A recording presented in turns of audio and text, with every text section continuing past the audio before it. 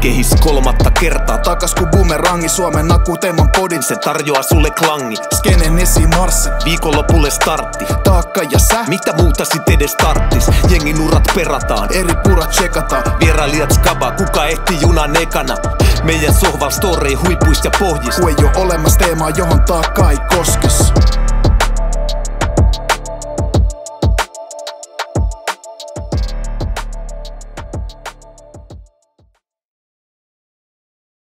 Ja se on Sonnin taakka, Suomen räpein, akuutein ja hiostavin podcast.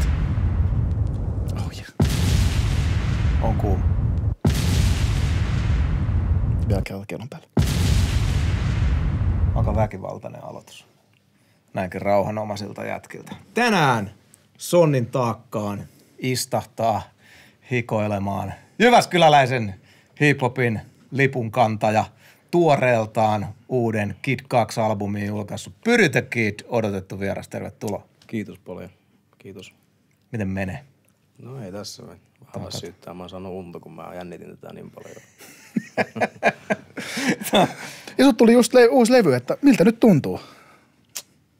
Ihan samalta kuin ennenkin, kun se julkaistiin. Nyt on vain ehkä semmonen pieni taakka lähtenyt pois. Mutta Sonnin taakka. Sonnin taakka on lähtenyt pois. No niin, Tai sit se on tullut, kun mä tulin tähän, en mä tiedä. katsotaan. Katsotaan miltä kohta tuntuu. No täällä kevennetään taakkaa. Se on Kauhanen lupas hiilostaa, hiilostaa tänään, niin tota, onneksi jäbälläkin on toi tukka, tukkamuoti vähän samanlainen kuin mulla, niin se Kyllä. tukka ei sillä hiosta sen enemmän. Nimenomaan. Mä en ole vielä niinku teidän levelillä tossa tukkajutus. Teet munkaan hommia vielä pari vuotta, niin sä oot niin stressaantunut, että viimeinenkin karva tippuu, tippuu pois. Pyryte Kid. Sä et oo vielä mikään niinku veteraani meikäläisen kirjoissa, niin, mutta säkin oot joskus ollut pieni. Sä oot nyt nuori, mutta sä oot ollut pieni. Miten pikku pyry alkoi matkansa kohti räppärin uraa. Mikä vei hiphopin pariin? Saa mennä niin alkuun, kun vaan muistat ensimmäisiä kosketuksia. Musaan ylipäänsä ehkä. Musa. Musa kulttuuri, meininki. Musaa ehkä mä, mä rupesin, mä en ole ihan varma mistä mä niinku aloin ne löytää, mutta mä kuuntelin niinku Iced Heitä. Mä rupesin niinku sitä. Mä taisin lukea niinku jossain koulun tämmöisessä lukujutussa niinku Aistiin sen. Öö, silloin se joku kirja. Mä Jep, jep. sen Joo, joo. Mä luin sen ja sitten mä rupesin kuuntelemaan sitä. Sitten se oli vähän silleen, että tää on vähän paska. Tää on vähän paska. Sitten sit löytyi niinku Dre. Joo. Mä olin silleen, että tää on vitun hyvä. Oi. Tää on niinku, ja sit löytyi Tupac. Ja Eminem kävi siinä välissä, mut se ei ole mulle oikein ollut. Se oli silloin semmonen, joskus kun mä olin tyylin kutos seiskaluokalla, niin silloin Eminem oli niinku. Mm. Mut sit se tippui aika nopeasti pois. Ja just silloin tuli niinku Pac ja nää. Todella kova. Siis oliko näin, että ice ja mainitsemassa artistista olit ensimmäisiä sellaisia, mitä sä oot musan parissa ylipäänsä fiilistellyt, vai onko se ollut... Ei vaan niinku niinku- räppiis. Mun niin, musassa mä oon, Faija soitti CCR ja Deep Purplea ja tuommoista countrymusaa ja sit, Kova. sit mä rupesin niinku, mun kummitati soitti mulle tyyli regeetä ja kaikenlaista musaa. Sit, sit mä muistan, mä olin tota, olisinko mä ollut kutosluokalla ja sit kaksi mun kaveria teki räppiä ja sitten ne oli silleen, että sä, kun sä saat soittaa levyjä, Mm. mä soitin silloin levy, niinku teknoa tai jotain tämmöistä, niin sit, sit ne oli silleen, että sä, sä osaat varmaan myös miksata. Ja sit mä olin, että joo joo, kyllä mä osaan vittu miksata. Ja sitten miksasin niitten, le- miksasin niitten levy niinku semmosel, mä en itse muista tästä kauheasti, mutta mä miksasin sen niinku tossa semmosessa niinku, äh, mikä vittu, semmosessa niinku äh, videoediittisoftassa. Että mä Okei. säädin niitä niinku jotain silleen juttuja vaan. Niin, no volyymitasoja kohdalle ja sit se ne oli silleen, että vittu hyvää duunia äijä. Ja mä olin silleen, että no niin vittu. Aivan. Kyllä musta... Vanha äänitekniikka. Niin, kyllä mä sanoin, että mä osaan vittu miksaa, että et tästä tuli nyt hyvää. Ja sit niillä oli niinku nuorisotulokeikkoja ja tommosia paljon ja sit mä niinku niillä soittelin levyjä niille ja Okei. Okay. Sit joskus yhtäkkiä se oli mulle vaan silleen, että sieltä, siitä biisistä puuttui niinku se fiitti, että se ei ollut siellä keikalla messissä, mm. se oli silleen, että nyt meidän DJ freestylaa. Sitten mä oon vaan silleen, että vittu, et, et miten niin vittu, mä, en mä vittu, mutta en mä kehannut sanoa, että en mä nyt sit vittu, tai en, mä, en mä niin. kehannut niinku lopettaa sitä silleen, että en mä pystykään. No sit mä muistin, miten se se verse alkoi. Mm. Mä en enää muista sitä, mutta muistan, että se alkoi olla ihan vittu hessulla jutulla. Ja sit mä heitin sen hessu jutu ja heitin siihen perään vaan jotain ihan hirveätä paskaa silleen. Vaan siihen perään näin. Ja sit, sit, mä muistan vielä, että se, se mun frendi rupesi vaan vittu niinku dissaamaan. Että se vaan, tiedät, se rupesi niinku battlään munkaan. Sitten mä olin, et vittun pelleet, että se vaan rupee vittu silleen vittu battlään munkaan, kun mä oon vittu sun DJ. Ja sit mä vaan olin Kuulostaa hyvältä friendiltä kyllä. Joo, joo. Et No, nyt, mut- nyt sä freestylaat kertomatta sulle. Joo, joo, ja sit, sit vittu mä rupesin niinku battlään sen kanssa, ja ne oli jotain siis, ei ne mitkään rimmannut eikä mitään, mä olin mm. silleen, että en mä tiedä, äijä on vittu perseestä, ja näin. Ja sit se heitti silleen hirveetä vittuun, tiedätkö? Wow. Ja sit se, sit se niinku, ja yleisöstä kaikki oli silleen, että vittu nää on paskoja. et, et niitä ei edes niinku, et se ei ollut niittenkään mielestä edes silleen mikään hyvä niinku show tai mikään, et se oli vaan aika Minkä ikä siitä olit? se mun frendi taisi olla, mä olin varmaan 14 mä veikkaan, sit se taisi olla joku 16, mm. varmaan 17 mitä. Oletteko te vieläkin kavereita? Joo, hän asuu itse Ruotsissa nyt, niin ei ole hirveä. Tekeeks musa? Tekee joo, No niin. tekee ruotsiksi ja suomeksi. Ei, ei, ei selkeästi jäänyt mitään kumminkaan niinku suuria traumoja tai arpia tosta, vaan siis tekeminen jatkuu. Se oli, että me naurettiin sille kyllä sit niinku ihan heti sen jälkeen. Varmaan vaan siksi, että mä olin niin paska. Tai silleen. Ja sit se, että kukaan ei oikein lämmennyt sille, niin se oli mun mielestä aika, tai meidän niinku molempien mielestä aika koomista. No jäikö siitä kuitenkin sitten sellainen, että, että se mikkiin koskeminen olikin ihan kivaa? Että No joo. Eh, oli niin paska, että alan reenaamaan. Mm. Mut sit, sit ne oli silleen, että kun sä kerta niinku uskalsit Mm. niinku lähtee heittämään tossa, niin et pitäisikö sun niinku joskus tehdä meidän kanssa niinku joku biisi? Sitten mä olin silleen, että, että kyllä mun tyyliin pitäisi. Ja sit, mut mä muistan, että mun ekat biisit ei ollut kuitenkaan niinku niitten kanssa tehty. Et mä olin vähän silleen salaa niiltä niinku äänittänyt jo aikaisemmin joku pari biisiä. Oliko sulla kamat sit- kotona?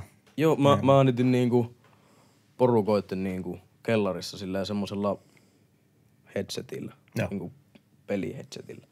Ja sit mulla oli niinku peitto tässä. Ja sit mä rekkasin ne niinku mun, mun tota, Mutsia Fajan läppärille, karaokebändille. Jep. Ja siinä mä tein ne. Sit, sit mun yksi kaveri se kuvasi semmosia, kuvasi semmosia trampoliinivideoita, se, missä niinku hyppi Joo. trampoliinilla. Ja sit mä olin sille silleen, että vittu tää ihan, on ihan vittu hyvä videomaker silleen, että, että tee mulle video. Ja sit se teki mulle musavideoja. Sitten tota, me siinä musavideossa vielä, mä menin semmoseen hylätylle semmoselle niinku semmoseen tanssimestaan. Että mä olin, että tää näyttää ihan vitun kuumottavalle, että tää on vittu hyvä. Ja sit, sit sinne tuli paljon mun frendejä, ne pasko sen paikan ihan täysin. Niin kuin, silleen heitti kivit vittu joka ikkunaan ja silleen pasko sen mesta ihan täysin. Ja mä olin silleen, että tää ei oo nyt kyllä hyvä homma. Ja sit se video meni YouTubeen. Ja sit siitä yli viikko, niin silleen mulle tulee niinku puhelu, just kun mä pääsin koulusta. Niin sit tulee, että Jyväskylän keskusrikospoliisista niinku päivää, että et, et sä oot hajottanut tän vitun mestan ihan niinku kokonaan. Ja sit mä ajattelin, mä oon vittu hajottanut sitä ja sit, sit siitä tuli kunnon case, että se oli meikä eka musaa video. Onko se vielä tubessa? Ei oo, onneksi. Sen biisin nimi oli Murhaaja. No niin. Okei. Okay. Millaisia baareja siellä oli? No en mä tiedä, aika semmoista. Mimmoista nyt voi ottaa. Kova. Siellä oli. Oliks sulla ennen kuin päätit räppärihommiin ryhtyä, niin mitä muuta sä vaikka harrastit junnuna tai... Mä pelasin futista. Okei. Okay. Sitten mä pelasin jenkkifutista. No se selittää yhden biisin nimen Joo, tuolla. sit mä pelasin tota, Jenkkifutista. joo, Kova. Jyväskylän Jaguarissa pelasin. Nice. Sitten tota, mä pelasin sählyä vähän sen ja sitten soitin rumpuja. Skidisti. Okei. Okay. Ohjasko Faija siis soittohommia? Ei, Vai? ei, että tota, mä olin semmosessa, mun mutsi ilmoitti mut semmoseen, öö, musakerhoon tai semmoiseen. Ja sit, sit mä sieltä rupesin niinku soittaa rumpuja. Et just tää videoäijä ja sit, sit mun paras kaveri oli siellä myös, niin sit me oli niinku bändi. Ei se ollut niinku bändi, mutta Joo, joo. käytiin siellä niinku ja joku äijä opetti meitä soittaa. Ja No niin. peruskompit ja muut. No joo. No ei haittaa. Näin. Rumpuhomman ymmärrys ei haittaa räppärihommissa ollenkaan. Ei ollenkaan. Hemmetin kova juttu. Hmm. Oot sä ollut aina mikin varressa Pyrytä Kid? Oliks? Joo, ihan aina. Joo. Ei ollut mitään muuta. Mistä se nimi tuli?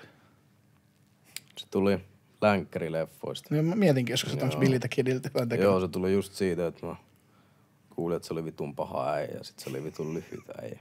Sitten sit mä olin aina lyhy äijä. Niin, kuin. niin sit mä olin, että kai mä sit oon vittu toi, että vähän paska nimi, mut ei tuu parempaa. Niin sit mennään sillä vit. Joo. Sitten joku tuli joskus kysyä, että miksi sä oot niinku baitannut Rich the Kidia. Mä olin, että kuka vittu se on. Mä en silloin tiennyt, että kuka se on, niin Sama. Sitten mulle tuli vaan tosi niinku paska mieli, kun mä olin, Niin, mä oon niin. vittu, mulla on tämmönen backstory tässä ja sit joku, että sä oot vaan ottanut sen suoraan joltain tyypiltä, niin mulla oli Joo. ja taas Eri- eri, poliisi soitti eri- vähän. eri- eri- erikoista, että tässä, että tässä ajassa enää syytetään ketään baittaamisesta. Se on niin kuin, Mm. tuntuu, että se on yleisesti hyväksyttävää. Mikä ikäinen sä nyt? 20 nyt. Tasan 20. Tossa on 20. Ja toi vanhan tanssimestan Paskomis musavideo on tullut, kun sä oot ollut 14, 14. 15, jompikumpi. Okei. Okay. On siinä jo Mä treenivuosia. olin varmaan just kuitenkin. täyttänyt 15. Jyväskylä, kotikaupunki ja, ja tota, se kuuluu sussa. Ja, ja, ja tota, tuntematta sua ennestään, niin mulla on sellainen fiilis, että Jyväskylä merkitsee. Sä oot ylpeä jyväskyläläinen, odot, oletan. Kyllä. Ja siellä Kyllä asut. oon. Siellä, Siellä asut. asun. Korte pois tällä hetkellä ennen Mäkimatissa. No niin, selvä. Miten tuossa uran ja räppihommien alkuvaiheessa niin nykyisistä tekijöistä, niin ystävystyitkö missä vaiheessa vai oliko toi Mm. alkutaivaalla pitkäänkin niin kuin itsekseen Se puuhastelua? oli tosi pitkää itsekseen. Et sit mulla oli semmonen just nää, joka muutti Ruotsiin ja sit sen niinku siinä ympärillä. Oli paljon frendeitä. Mä menin semmoiseen niinku asuntolaan, kun mä menin Amikseen ja sit siellä oli semmonen mikkeliläinen äijä. Mä olin, ei vittu mikään pelle. Tai silleen se oli semmonen tosi niinku, silloin niinku semmonen hiiren näköinen äijä. Ja sit se pelasi runea siinä niinku, ja mä menen sinne. Me ei tunnettu, mutta meistä tuli niinku kämppiksi. Ja, sit sitten se oli, se oli silleen, että se luuli, että mun sen aikana tyttöystävä oli mun sisko ja että mun mutsi oli joku laitoksen ohjaaja. Sitten se oli silleen, että vittu tänne tulee joku nisti silleen hengailee munkaan. Ja sit, sit mä niinku, mä muistan me kuunneltiin Makaveli Hail Maryä siinä illalla. Se ei ollut kuunnellut räppiä ikinä. Ja sit se oli silleen, että tää on muuten vittu hyvä biisi. Et, et, mä, oon, mä, oon, tota, mä oon Joonas ja sit mä vaan Pyry ja näin. Ja sit, sit se niinku, se oli kiinnostunut noista niinku videohommista ihan vittuista. Joo. Ja sitten me mentiin sama, samalle luokalle Amikseen ja sitten se niinku rupesi kuvaa musavideoita meille. Sitten me sillä porukalla tehtiin niinku pitkään. Sitten mä tunsin semmoisen räppärin Jyväskylästä kuin Heebo. Okei. Okay. Ja sit Heebon kanssa oltiin tosi hyviä kavereita. Ja sit mulla meni sukset ristiin yksi ja äijien kanssa, ketkä mulle niinku silloin rekkas ja tuotti ja näin, niin mulla meni tosi pahasti niinku välit niiden kanssa. Ja mä vaan vittu, mä muistan, mä vaan olin Heebolle silleen, että vittu fam, että vittu kukaan ei rekkaa mulle. Että mulla on näitä biisejä vittu niinku tän ja tän verran. Ja nämä on mun mielestä hyviä, mutta kukaan ei äänitä mulle, että kun kaikki on niin vittu perseestä. Sitten Heevo oli silleen, että ehkä mä voin tehdä jotain vittu äijälle, tiedätkö? Sitten sit me oltiin käyty sillä edellisellä porukalla rekkaan niin kuin Aaro luona, Aaro 630 luona jo niin kuin aikaisemmin niin kuin rahaa vastaan. Ja se oli sitten niin äänittänyt ja tuottanut ehkä jotain ja miksannut ehkä jotain. Mm.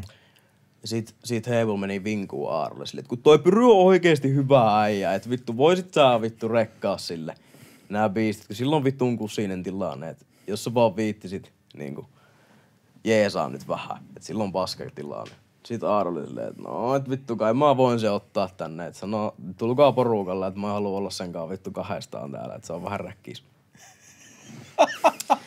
No sit me mennään mit, niinku Heepon kaa Kypärmäkeen Aaron porukoitten kellariin. ja Aaros myykailee siellä. Tekee jotain, sit sanoo silleen, että minkälaista. Ja sit mä näytän jonkun biitin sille ja on silleen, että tämmönen.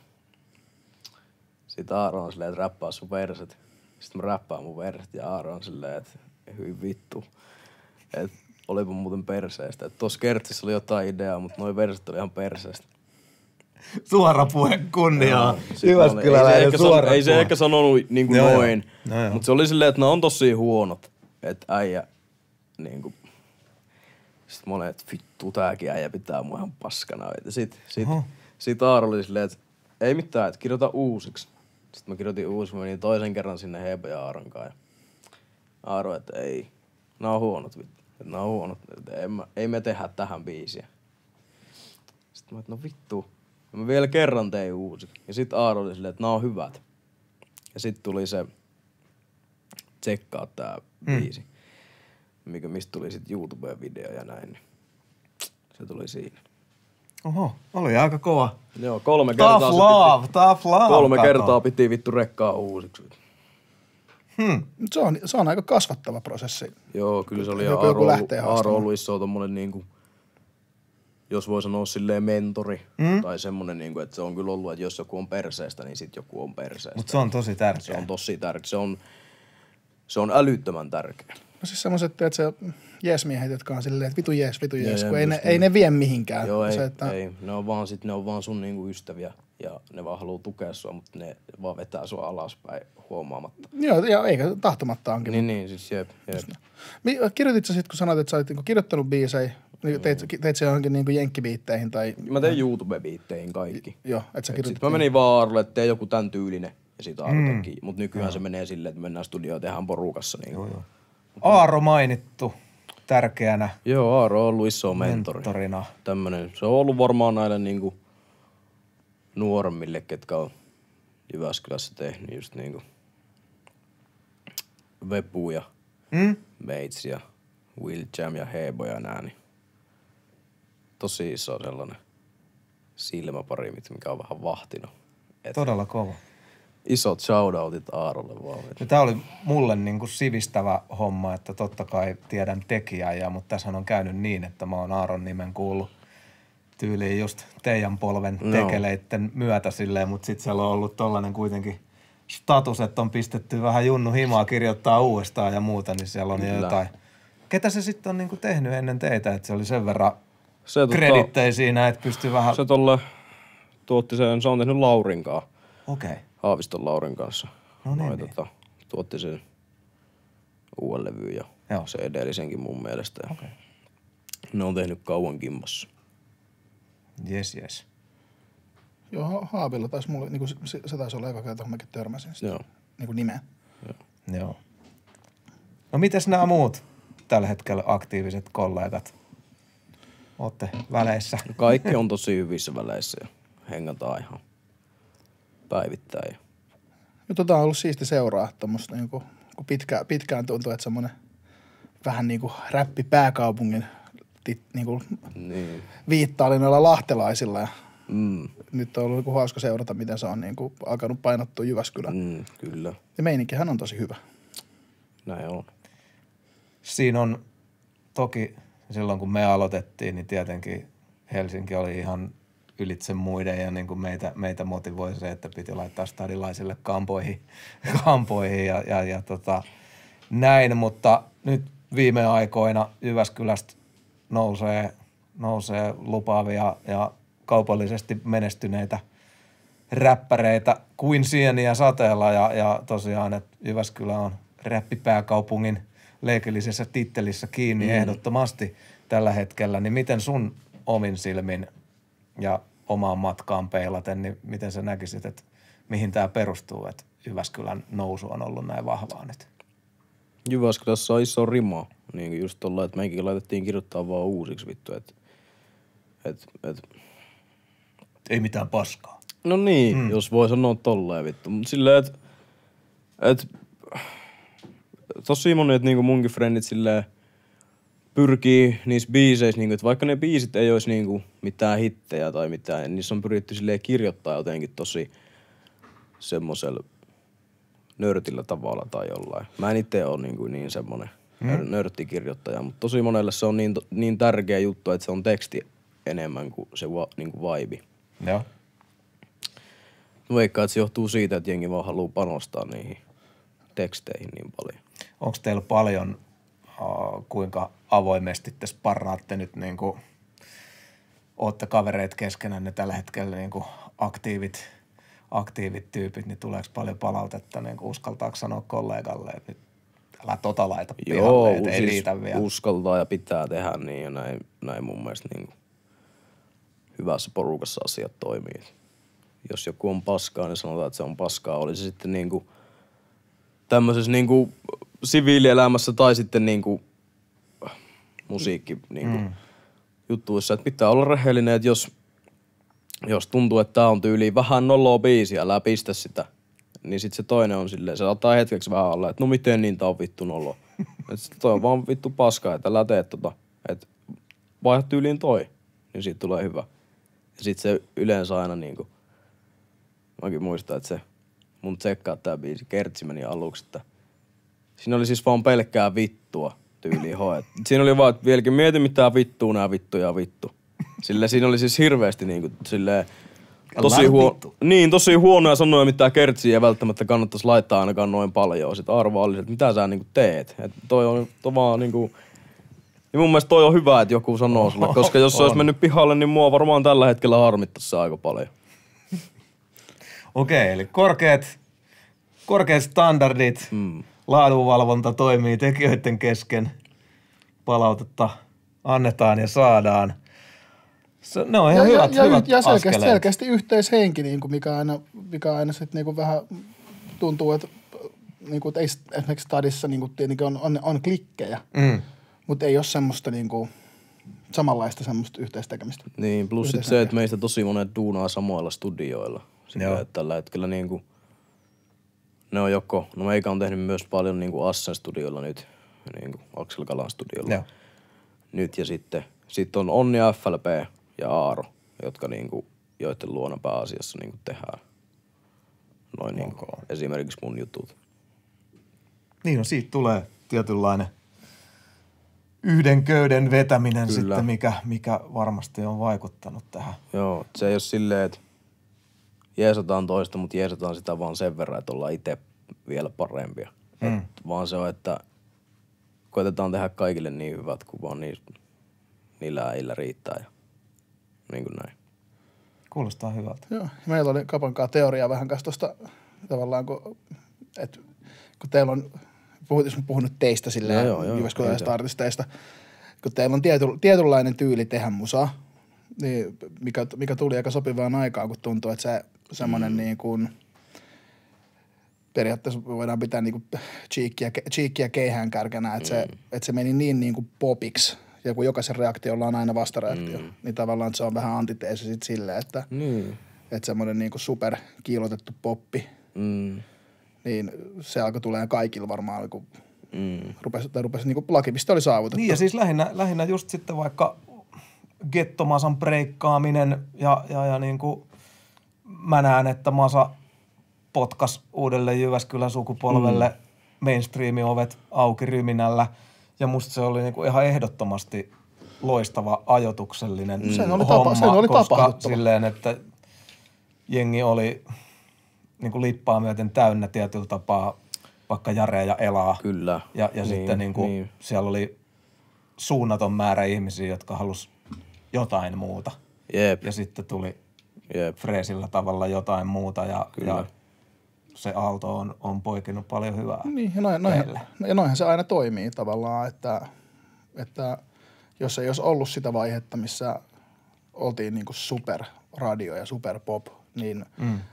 Niin ei välttämättä olisi ollut myöskään suuren yleisön korvat auki niin kuin Mm, ei olisi kaivattu sitä toista sit puolta. Niin, ja, ja vähän niin kuin korvat kalibroitu semmoinen, että Niin. on tarpeeksi massaa, jotka on niin kuin Tottunut jo räppiin. tottu, Rap- to, niinku- tottunut räppiin Niin, aivan. silleen jonkinlaisena ilmaisumuotona. Niin, ehkä. Mutta tässä on nyt samaa, mutta tämä on vähän... Tää on vähän raffimpaa. Jep, jotenkin niin kuin näin.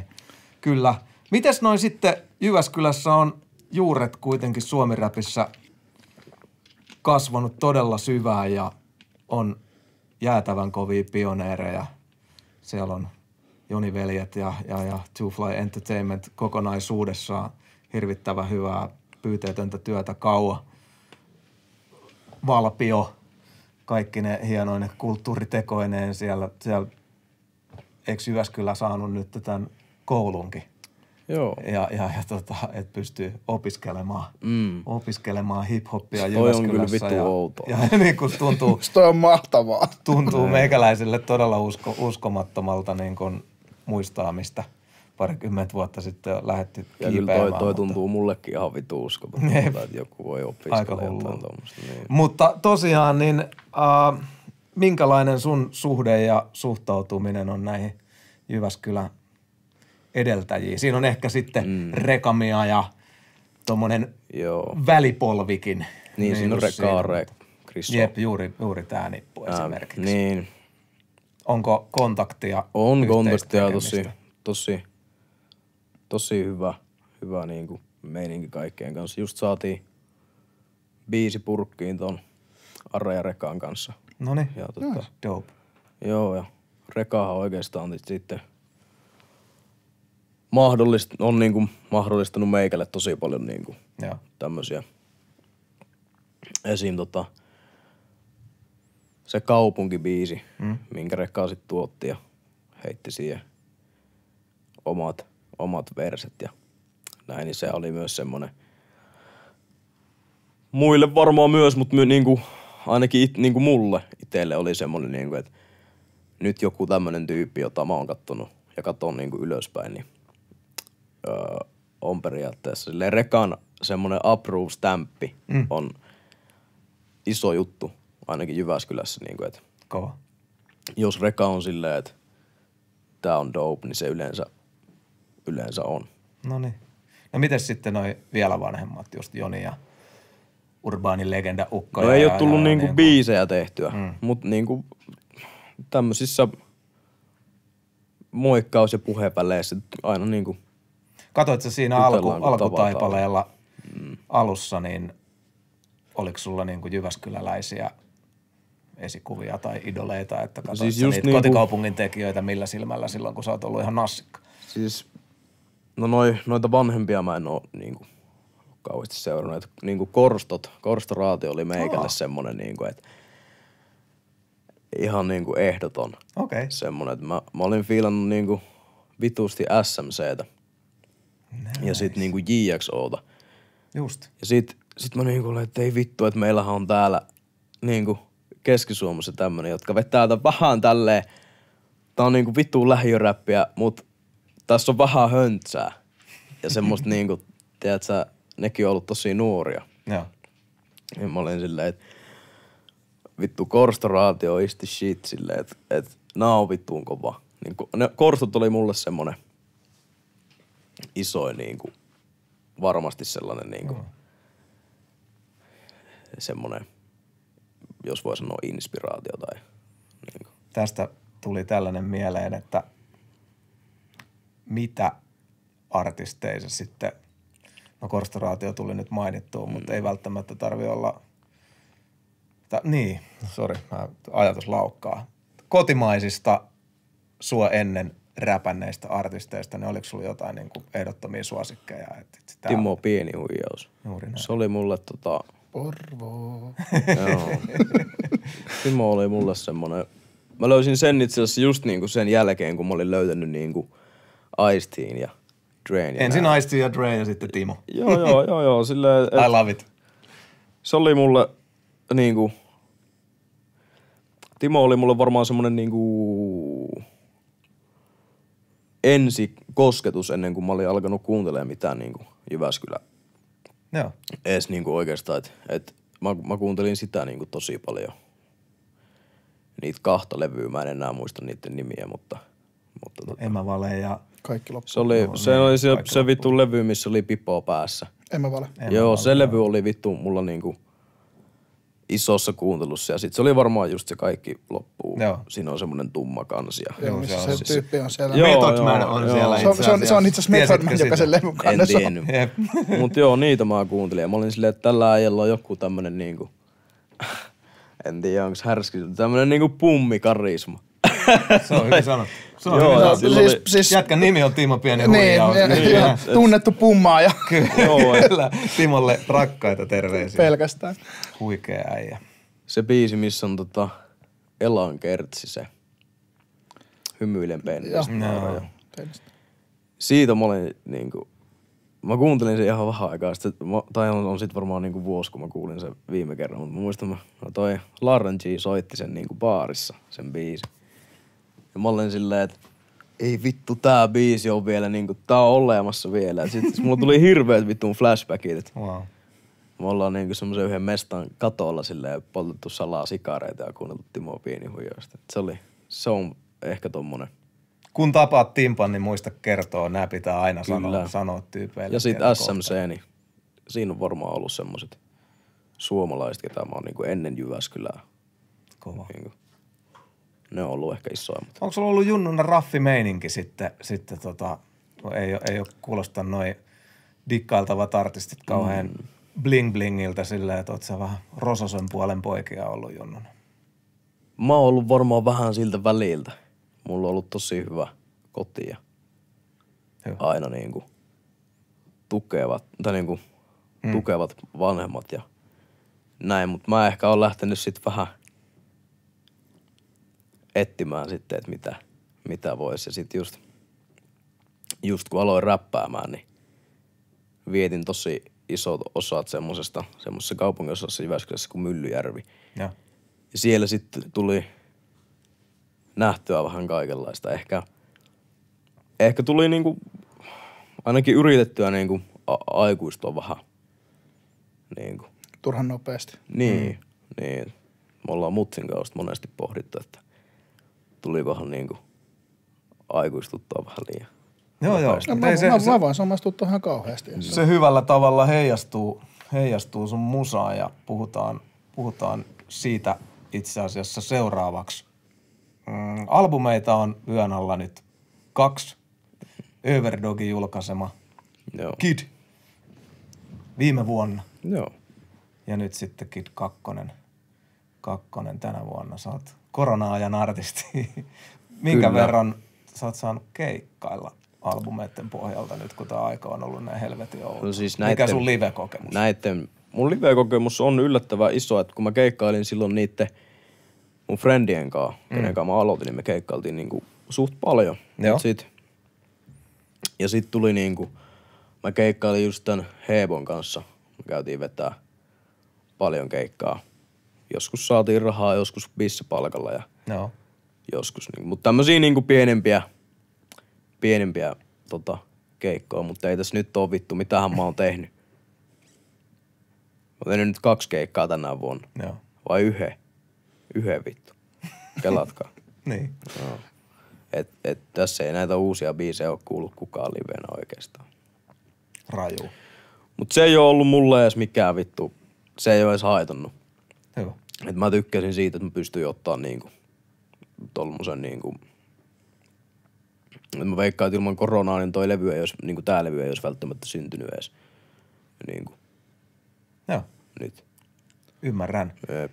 Mites toi eka Mennäänkö, kidi? mennäänkö ekaan, ekan, Joo. kidin, ekan kidin sisään? Mikä sun mielestä siinä on sellainen, jos joku ei ole nyt kurkistanut sun ensimmäistä albumia ollenkaan, niin mikä siinä on, minkälainen jätkä siinä puhuu? Kantava teema. Mitä sä halusit sillä sanoa? Semmonen aika rehti ehkä. Ja vähän myös ehkä sympaattisempi äijä. Joo, Siinä on kangoli, kangoli baketti päässä kannessa ja hip-hop on läsnä, läsnä niin, niin visuaalisesti kuin biiseilläkin. Että ja soundi on aika klassista hiphoppia, On joo, jos kyllä mä- sallit ilmaisun. Joo. Mä kuuntelin tänä aamuna viimeksi, viimeksi albumit läpi ja Joo. kyllä hymyilyttää, kun toi ystäville lähtee soimaan, niin tuli kyllä sellainen, että vitsi, Se että on tää on aika- 2020 julkaistu. Joo. Et siinä on, siinä on niinku, mä ootin, että koska tyyli Eskimo alkaa vetää, että siinä on niinku, Siinä on tosi 2000-luvun suomi-räppi vibe. Mutta se oli jo niinku, sitä siinä kyllä haettiinkin Joo. silloin Aaro vihaa tota biisiä. Ei sen takia, että se on toi genre, vaan sen mielestä, että se biitti on niin paska. Mut kun mun mielestä se ei edes oo niin paska. Oliko se niin paska? Ei se Ei, se- paska on, se- se- mutta ei, siis se- just, se- se- se, se- aikamatka on melkoinen. Ei, ei tuolla Jee. yhtään paskaa biisiä. Mä muistan, kun mä ekan kerran kuuntelin toi ja mm. niinku, ja siis mua nauratti, ei pahalla tavalla, mutta just se, että kun tää kuulostaa tavallaan, niin kuin, soundi on vähän sitä, mitä, mm. tiedät sä, sä oot ollut silloin 18-19, mm. niin, niin kuin, soundi on vähän sama, mitä niin kuin, itse teki 18-19-vuotiaana, Joo, kun se, silloin 2000-luvun taitteessa Niin. tai 2000-luvun alussa. Ja sitten tuli samaan aikaan semmoinen jotenkin kauhean lämmin fiilis siitä, mm. että et hitto, tommonen klassinen suomi rap soundi No niinku siis on. täysin. Meillä oli, mikähän se biisi oli, mikä Et- oli et- silloin, silloin Tosta vielä. tuli niinku hyvä mieli kuunnella. Meillä oli, oli tuli. vielä tämä biisiraati, biisiraati silloin mun ekalla taakkakaudella. Mä kuulin susta ekan kerran ja meillä oli, mikähän se track oli, mikä meillä Varmaan oli neuvoin. Se oli ehkä se. Mun mielestä se Ja mä se. tykkäsin siitä. Ja sitten kotimatkalla mä laitoin albumin soimaan. Ja siis mun ensimmäinen oli just se, että ei vitsi, että tässä on nuori, nuori jätkä, mm. joka on niinku läksyt lukenut ja tulee rehdillä, rehdillä niinku Joo. suomiräpillä sisään, joka oli niin erilaista kuin sitten taas mitä moni sun ikä, ikätoveri, niin. niin kuin se aalto, millä niin moni raidaa tällä hetkellä, niin musta se oli tosi freesiä vaihtelua. Siinä ja on. siitä lähtien sä oot ollut mun, mun radarilla niin kuin tiukassa seurannassa. Kiitos. Siinähän on tota avainsample siinä Jep. yhdessä biisissä kanssa. Et mä veikkaan, että sekin oli aika iso inspa tolle levylle. Niin kuin. Kuinka paljon sitten tommoset niinku, just avaimet, niinku vaikka punaiset tiilit mm. ja renesanssit ja noin, niin oot sä, oot sä niinku, kun sä oot ollut hyvin pieni, kun, mm. Mm. No mä en ole niitä silloin kuunnellut. Mm. niin no sä Koska oot, mä sä oot ollut, minä vuonna sä oot syntynyt? Sä oot 2001. 2001, no sä oot ollut, siis sä oot syntynyt samana vuonna kuin renesanssi on tullut, että, että kukaan ei odota, että sä oot... Joo, ja niitä ei meidän kotona, niitä ei kuulu. Jep. niin tota, sitä ei sovi odottaakaan. Joo. Mutta ootko, ootko, ootko käynyt sit myöhemmin kuuntelemaan ennen kuin, koska No joo, siis varsinkin just toi niinku punainen tiili, että sitä mä veikkaan, että sitä tuli kuunneltua ihan vaan sen takia, että musta tuntuu, että joka paikassa, missä joltain kysytään, että mikä on, mm. niin sit kaikki on, no vittu punainen tiili, vittu punainen. Sitten mä olin, kai tää nyt vittu on sitten niin vittu hyvä, että mä rupean, sit mä menin vittu ostin avaimen paijan ja olin silleen, että come on vittu. Et silleen, Ai ai. mutta se oli, se oli periaatteessa silleen, että se levy mulle vaan vittu pakotettiin silleen, että kaikki oli, että tää on, tää on niin vittu. Mm. Ja onhan se niinku, Merkkiteos. niin, niin, se on klassikko. niin. Et, että, Enää ei niinku tuu kyllä paljon niinku noita kuunneltua tai sitä levyä. Pari kysymystä, mitä mä haluan tuosta Kidistä kysyä, niin Mm. ensimmäinen on sellainen, että jos johonkin biisiin erityisesti liittyy joku maukas tarina, semmoinen olisi kiva kuulla. Vittu kun mä en muista niitä biisien nimiä. No lähdetään. Neuvoi oli focus trackina siinä, se oli Siinä ei meillä oo kyllä vittu raadissa. mitään storyaa. Ja, ja tota, Se on se vit... kadut on kylmiä, kaupunki, Jyväskylän vacation, pirut, darkimpaa osastoa, irti, 11 latoa ja Se on se ystäviä. 11 lattoa. Siinä No on, se on vittu. me. Mikä siihen liittyy? No siihen liittyy tommonen niinku äh, läheisten ystävien niinku tällainen tota, tosi raju niinku päihteiden käyttö ja tämmönen niinku Hyvä. Tästä siinä maailmassa niinku pyöriminen. Mm. Tota, äh, toikin on varmaan ollut semmonen tosi niinku semmonen, minkä mä oon vaan joskus yöllä kirjoittanut silleen johonkin puhelimen muistioon. Et mä tein si- niinku varsinkin si- siihen aikaan mä tein tosi paljon niinku, että mä niinku vaan kirjoittelin biisejä ja sit mä olin silleen, että ei näistä välttämättä edes tuu mitään, että mä vaan kirjoittelen, koska musta nyt tuntuu tältä. Niin toi on varmaan yksi semmosista biiseistä, mikä sit kuitenkin julkaistiin. Joo. Niin tota, Jep. Meillä oli, tai on ollut Tuomaksen kanssa tapana tässä taakassa, jos ollaan käyty ihmisten diskografiaa läpi ja juteltu albumeista, niin me ollaan pistetty aina nostamaan yksi sellainen biisi, mm. jos jengillä olisi aikaa sun debyyttialbumille vaan mm. yhden trackin verran, niin minkä sä haluaisit tuolta se on sit se päältä äskeinen, se on se 11 lasta. 11 lato. Tuli muuten mieleen, että ei tulla levyllä tyyli oo avainsämpleä vai onko. Oh, Ei kun niin se on just vittu. on se. mä kuuntelin sitä tänä aamulla. Joo. Mä rupesin miettimään, vittu siitä on kauan, että kun mä oon kuunnellut ton levy. On se siinä vai? On se se. On se se. Joo. Mut sen biisin prosessi. sitten vittu. 11 latoa. Joo. Pannaan se tonne tota. No, sitten vierähti. Ei kauaa vierähtänyt, Niin, tekee verrattain uutta. vähän, vähän aikaa ja, ja siinä on vaihtunut myös julkaisuja. Joo. Ja miten sä kysyt aikaa, että miten sä päädyit silloin Overdogille? A- aivan, aivan. Jokuhan, se, hei. jokuhan se debytin pitää julkaista, niin, Niin, niin miten tämä julkaisija löytyi?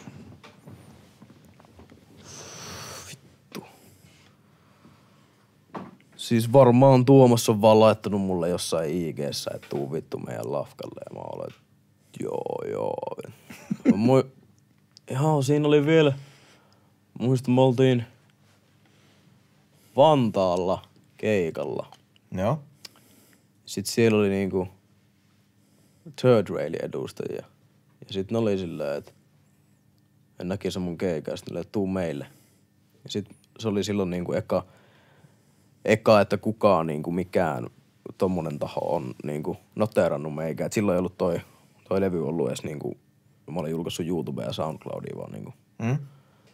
biisejä näin. Ja sit mä olin siitä ihan, mä muistan, että vittu, come on vittu, mä pääsen, mä pääsen nyt jonnekin. Sitten ne oli, että laittakaa demo.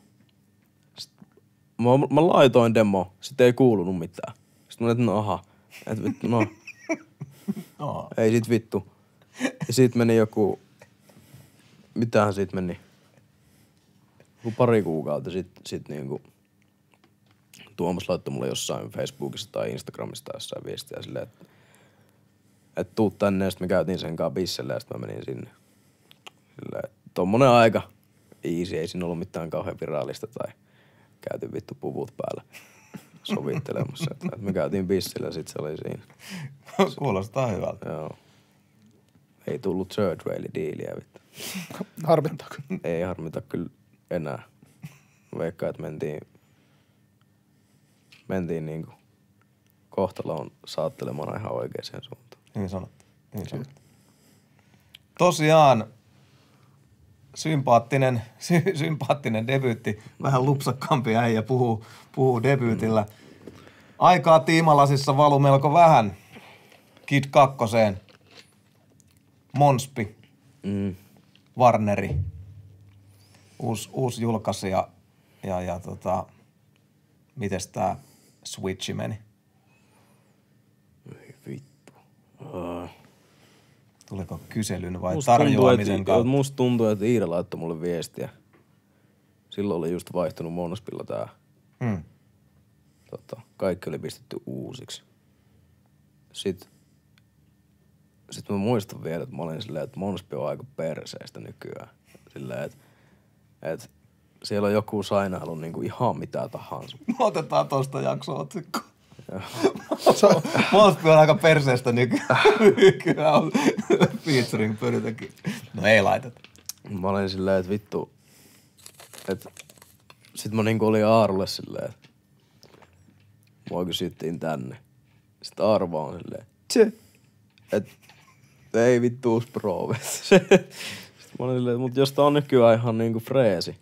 Sitten oli silleen, että en mä tiedä, että et, et, ehkä se sit on nykyään freesi. Sitten mä kysyin niinku, mun mielestä mä kysyin Iilta silleen, että Sieltä tulee pahoja katseita. Kysyin mun mielestä silleen, että ketä siellä niinku on nykyään. Ja sitten Iida kertoo tai sitten mä olin, että no... Mulla oli semmonen niinku, niin sit, sit just niinku, että et Aaro oli ollut silleen, että toi on ollut kyllä niinku ihan perseestä silleen viimeiset, viimeiset vuodet. Sitten Hebo oli silleen, että mut se on kuitenkin Monspi. Hebo oli silleen, koska Hebo on vittuun, tiedät, se niinku, aito räppi tyyppi, niin se oli silleen, että mut se on vittu kuitenkin Monspi, että me vittu tekee siitä niinku hyvä. Että me tekee siitä Cool. hyvää vittu mesta.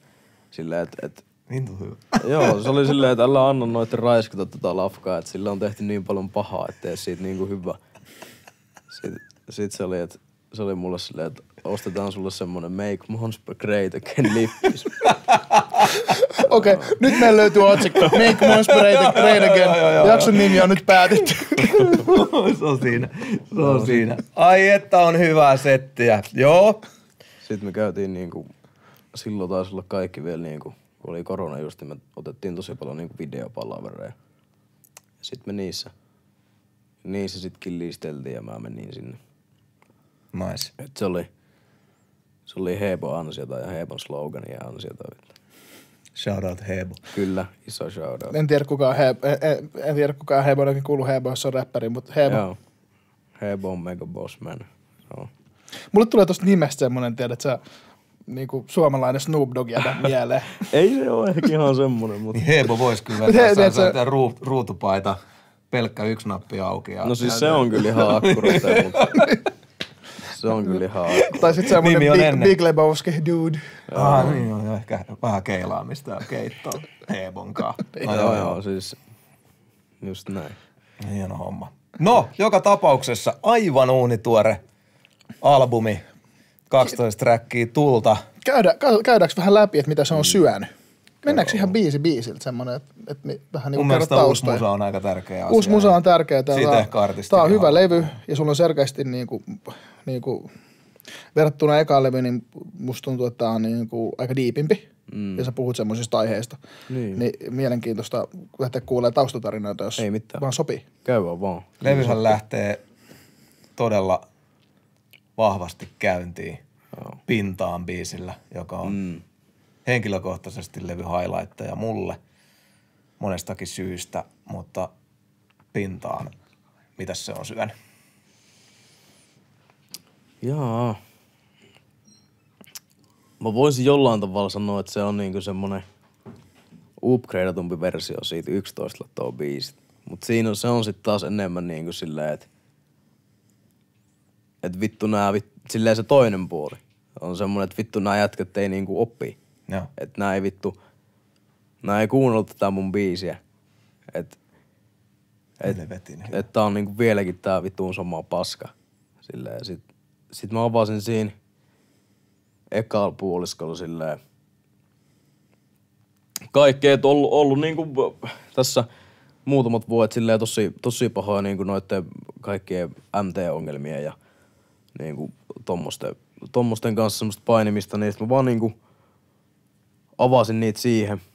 Mut sit mä olin silleen, että mä en halua tästä tämmöstä niinku, tiedätkö, vittuun kornia tämmöstä vaan niinku avautumisbiisiä, mm. täm, niinku, et, ja näin. Ja sit, sit mulla oli siltä silt Remiltä semmonen, just se drillibiitti. Mm. Ja mä olin pitkään miettinyt silleen, että kun mä haluaisin tehdä niinku, mä haluaisin räpätä tämmöiseen biittiin, mutta mä en halua tehdä drillibiisiä, koska se on nyt niin niinku in ja näin. Ja sit mä olin silleen, että mä en halua, kun drillissä on aika, aika useasti niin, kuin niin väkivaltaiset teemat ja tämmöiset. Mä olin silleen, että mä en nyt vittu jaksa, niin kuin, mä en nyt jaksa tehdä tuommoista väkivaltabiisiä. Ja sit, sit mä vaan niin kuin yhi, yhdistin ne. Ja, ja, ja se on enemmän niin kuin ehkä just niin kuin, se ei ole mikään dissi kellekään niin kuin tyypeille, ketkä tekee jotain, vaan se on enemmänkin niinku niille niinku mun, ket, ketkä mä oon niinku tuntenut ja Joo. niin niille semmonen niinku, että herätys vittu. Et. Joo, se jotenkin mm. resonoi mulle ihan törkeä hyvin silleen, että jotenkin mä dikkaan sun otteesta tuolla albumilla silleen, että sä niin kuin, te, Tupisen sanoi hyvin, kun me eilen, eilen juteltiin vähän, että mitä sunkaan puhutaan, että siellä on noita raffimpia aiheita ja, ja, ja niin kuin nurjemman puolen juttuja, jota tosi moni sun kollega sitten glorifioi ja niin kuin Niin. pullistelee niin kuin näillä. Niin no Niin siis sä et niinku saarnaa, etkä paasaa, Joo, mutta mä en. tykkäsin tosi paljon, että joku sanoo, ja moni junnu kuuntelee sun musaa, mm. Niin että siellä on kuitenkin semmoinen, että that's not cool. Et joo, sit et- siinä oli niinku just, just niinku, just miten sanoit, niin oli niinku se, että et niinku, ainakin, niinku, no totta kai mä voin puhua aina vaan niinku omasta puolesta ja näin, et en mä tiedä kuinka siistiä ja näin se on ollut jollain muilla, mutta mm. silleen mun mielestä tai meille se ei ainakaan ollut niinku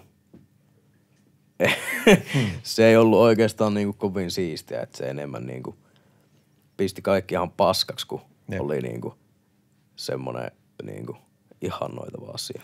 Tai Ei, tosi ja miehekäs asia. Ja mä arvostin tota siis aivan kauheasti. Tota, just tota niin kuin, että sä puhuit noita juttuja. Koska toi on niinku, se on perusräppikuvastoa, joo, ihailla, mm. ihailla, ihanoida vähän väkivaltaa, ihanoida, ihanoida rikoksia, ihanoida noita juttuja, ihanoida päihteiden käyttöä. Mm. Ja sitten niinku, ja kyllä mäkin sitä niinku nuorempana fiilistelin, mutta sitten kun tavallaan on, on periaatteessa kirjoittanut samoista teemoista sun ikäisenä, ja se on päätynyt siihen, että esimerkiksi mun kavereista niin hyvin moni on kuollut tai vankilassa. Niin just tavallaan se, että et ei ihan noin, vaan niin kuin mm. tuo sen toisen puolen sinne. Niin, eikä siinä ole niinku, että Ja se on musta tosi tärkeää, että myös se tuodaan, että se, pu- että se puoli tuodaan myös esiin. Niin, molemmat puolet. En mä sitä sano, että ei milläkään tyypeillä hauskaa ollut tai että niinku, Niin, niin. ja näin, mutta se ei oo, ei se ainakaan koko ajan ole sitä ja kyllä, kyllä siitä vähemmän jää käteen kuin mitä siitä on. Ainakin niinku tässä mun tapauksessa, niin vähemmän siitä jäi kellekään käteen kuin niinku, et Jep. No, mutta musta se toimii ihan, ihan tosi hyvin mm. ja viesti välittyy ja toivottavasti ne, ketkä sulla on siellä mielen sopukoissa ollut, kun kynä on käynyt, niin ottaa onkeensa sitten, mitä vanha frendi sanoo. Mm. Kakkosträkki, älä. What about that? Se oli myös sinkku. Joo, se Joo. oli sinkku, se oli, oliko se toinen sinkku? En mä vittu muista, mutta kuitenkin se oli grimy, Joo, eiks niin? tästä pitikin itse asiassa kysyä. Joo. Mä en ole varma, onko mä nähnyt unta vai oliko joku jopa peräti tiedote vai haastis tai joku, missä, missä olisi ollut sulta niinku quote, että jengi Suomessa tekee niin paskaa crimea, että jonkun täytyy tehdä hyvä crime-biisi. Oletko sanonut jotain tällaista? Mä muistan jonkun tyly, tyly saate, saatesanan tälle biisille. Ja, Mä käyn nyt breikin, ja, tota, Tuo on niin pitkä keissi, että on tässä vaiheessa vieraamme lähtee ulos. Ja siinä oli silleen, että mä sanoin ton juttu, mä oon vieläkin ihan niinku samaa mieltä ton, ton Suuttuks jengi? Siis suuttu vittu. Mä muistan vittu. Mulla oli semmonen kutina, että et, tää tota, Matti Kassi saattaa suuttua tästä. Niin kuin. Eikä se ollut silleen, että mä halusin vittuilla sille äijälle. Mut mä olin vaan oikeesti niinku sitä mieltä. Sitten mä, mä muistan, olin jossain tota illaistujaissa silleen, että et, tota, niin kuin hyvä meininki ja pari viskipaukkua ja näin. Sitten mun puhelin soi. Sitten, sitten mä että kuka vittu soittaa mulle niin kuin tähän aikaan. Että kello oli joku varmaan puoli kaksi ja tuntematon numero. Sitten mä että et kukahan täältä soittaa. Sitten mä vastaan silleen, että halloo. Sitten, sitten mä en niin kuin tunnista ääntä. Sitten mä olin, että kuka siellä on? Sitten Matti Kassi. Sitten mä olin, no morjesta. Mitä mies? Sitten se oli, että Suomessa ei ole tullut yhtään hyvää crime-biisiä. Sitten, sitten mä olin, että, mä olin vähän silleen, että vittu, onko sä nyt soittelet? niin, vaan, että Suomessa ei ole tullut yhtään hyvää crime-biisiä. Sitten mä olin silleen, mä en muista ihan tarkkaan, että mitä mä sanoin. Mutta mä olin jotenkin, että, että, että ei ole ennen tota biisiä. Että, että, että, Helvetin. että, että näin. Ja sitten se oli mulle silleen, että haluatko mennä? Haluatko mennä? Sitten mä olin silleen, että että tuleeko tää niinku vittu linjaa pitkin lyömään mua. Sitten mä tiedän, että se vi- vittun testoissa on siinä niinku pari viskipaukin jälkeen. Silleen, että haluat sä vittu turpaa sit. Et, tai niinku, että mit- mitä sä meinaat tällä niinku mennä. Et, et, ku- koska mä käsitin sen silleen, että tiedät, että haluat sä tapella. Niin, niin. Sitten mä olin, että ethän sä nyt vittu soittele mulle niinku puoli kahdelta, että haluat sä tapella. Varsinkaan, jos et ole, pa- jos et ole lähellä. Sit, no niin, si, niin sit, sitten tota, Puhun yöbussista. Niin. Niin. Mä oon tulossa Jyväskylään. Niin. No niin. Sitten mä olin silleen, että vittu, että et, et äijä, että vittu, älä, älä soittele mulle ja rupee niinku tolleen huutaa. Mut sit se olikin silleen, että et, ei, mit, ei, että et, mä vaan halusin soittaa vittu, että et, niinku, haluat sä niinku ottaa tämmösen Niinku dissi, dissi. Dissi, Niin. homma, niin. Sitten mä olin, että en mä vittu jaksa. Että en halua. Sitten no jos vähän se. Sitten mä olin, en mä vittu jaksa. Nyt vähän se. niin, niin, mulle, et, mä, vi- et, et, et silleen, että en mä vittu, että mä en oikeesti vittu jaksa. Ja Sitten se oli hauska, että se oli vielä silleen, että ai, et ei oo tullut yhtään, oot, oot vieläkin sitä, että ei, ei tullut yhtään hyvää grime-biisiä. Sitten mä olin, että no, et ei oo tullut. Okei, selvä. Sitten se loppui se puhelu. Sitten, joo, sit, sitten tota, niin se sanoi siinä vielä siinä puhelussa, että, että haluatko tulla meidän niin radio-ohjelmaan vieraaksi, että kun me etsitään näitä hyviä Suomi Crime biisejä. Sitten mä olin, että en. Ja, ja sit, sit mä muistan, oli menikö päivä vai kaksi, kun niillä oli se ohjelma sitten. Sitten mä en muista, sanoiko se siinä ohjelmassa vai soittiko se mulle sen jälkeen vai mit, miten se, missä se tuli, mutta sit, sit Matti oli silleen, että vittu, että Pyry oli oikeassa, että et eihän näitä oo vittu. Siinä oli silleen, että se ei saa sanoa omia biisejä. Niin. Niin sit se oli silleen, että vittu, että en mä vittu kyllä tiedä. Siis entä Horse Attack Squad? No mut... Niin. Mut Mä oon suuri Horse Attack Squadin ystävä. joo, ei siinä mitään pahaa ole. Kova story. Mä, mä varauksetta dikkaan. Siis Siis joo, Terveisiä Matti Kasi. Joo. Sonni taakka alumni Mut, mut, toi on musta, niinku, toi on musta niinku hauskaa tavallaan, jos ajatellaan, että kun jengi aina mieltää, että vaikka beefit tai bat, niinku, tai mä, mä vihaan sitä, että kun battleja sanotaan beefiksi, kun beefit mm. on musta niinku oikeasti riitoja Jep. riitoja. Ja battlet on se, että kirjoitetaan runoja toisillemme. Mm, joo, Ja beefit, on, beefit on vähän eri juttuja, mutta tota, että jos ajatellaan, että kun jengi aina miettii, että, että siellä on kauheat jotkut deepit riidat jonkun battleen mm. takana ja sitten on silleen, että mm. netkö olisi vähän se halus battleta. Niin, jep, ja siis jep. Annais Ja vähän. Niin, sit, sit just niinku, Ja kun tota se on melkein siis kaikissa, Niin. kaikissa battleissa Jep. tyyliin. Että. jep. Ja sit se tosiaan oli silleen, että vittu, että Pyry oli oikeassa, että, että ei niitä oo niitä hyviä biisejä. Ja Sitten se niinku päättyi siihen ja ei mitään lokkaa Matille tai Kova kellekään. Mun mielestä vaan hauska, hauska storia. Mutta meikä ei ole semmonen, että mä haluaisin alkaa kirjoittaa silleen jostain tyypistä, kenen kanssa mulla ei ole yhtään mitään niin kuin henkilökohtaista Mm. ongelmaa tai riitaa, niin en, en mä halua olla silleen, että vittu sä oot mulkku jätkä, vittu sun biisit on perseestä. tai silleen, Ja, ja tietysti, sit, jos ei tykkää jonkun musasta, niin se voi olla silti ihan, niinku, mulla, on helvetin, hyvä mulla on helvetin Mm. monta kollegaa, kenestä mä tykkään ihmisenä kauheasti ja niinku, et Niin. ei se musa on mua varten esimerkiksi. Siis, Tai toisinpäin. niin siis, niin siis just, mä muistan, mä olin yhdellä skeittiparkilla ja mulle tultiin sanoa, että, että tota, vittu sä oot hyvä äijä, vittu sun musa on perseestä. Sitten mä olin silleen, että Joo, joo. Tai, tai Okei. Niin, mä olin silleen, että vittu toi oli tyyli... Se oli vielä mua varmaan silleen viisi vuotta nuorempi tyyppi, joka tuli sanoa. Sitten mä olin vaan silleen, että... Että kai toi on nyt sit hyvä juttu. Mä edes hyvä äijä. Mahtavaa. No mut älä on konstailematon Joo. grime bangeri. Sitä tarvii mun mielestä ehkä sen enempää purkaa. Ehkä toi story kantaa, kantaa sen, herätti keskustelua. Ja tota, no joo, mulla on ehkä tuohon grimeen vielä vähän kysyttävää, mutta käydään tää track, tracklisti nyt. Käydään vielä Sitten läpi. voidaan, voidaan kysyä sit syventäviä kysymyksiä Joo. sen jälkeen. Huono on seuraa featuring Shorty. Mm. Mitäs tää syntyi? siitä. Olet, oletetaan, että jengi ei ole kuunnellut, niin ava, avaat sillä vinkkelillä vähän se. Mä, mä, mä tein ton tota... Toi kertsi syntyi silleen ihan vitun silleen nopeasti. Me tehtiin Onni FLPn kanssa toi biitti ja ja sit mä vaan hyräilin sen ja tossa oli alun perin tunteettoman se toinen perse. Aha, okei, okay, nice. Mm. Ja sit mä olin silleen, että tää on vittu ihan... Että tää on niinku lattee biisi. Jos mä vaan vittu oon tässä tälleen yksi, niin tää ei oikein mene eteenpäin missään vaiheessa. Ja sit mä just, mä muistan missä haastattelussa mä sanoin, se oliko se viime viikolla just, että nämä kaikki fiitit on semmosia, että jos, jos te kuulisitte nyt sen tota, biisin ilman sitä fiittiä, niin ne olisi semmosia biisejä, että laittaisitte todennäköisesti ne samat tyypit niin kuin niihin fiitteihin tai sille, niin kuin niiden verseen paikoille.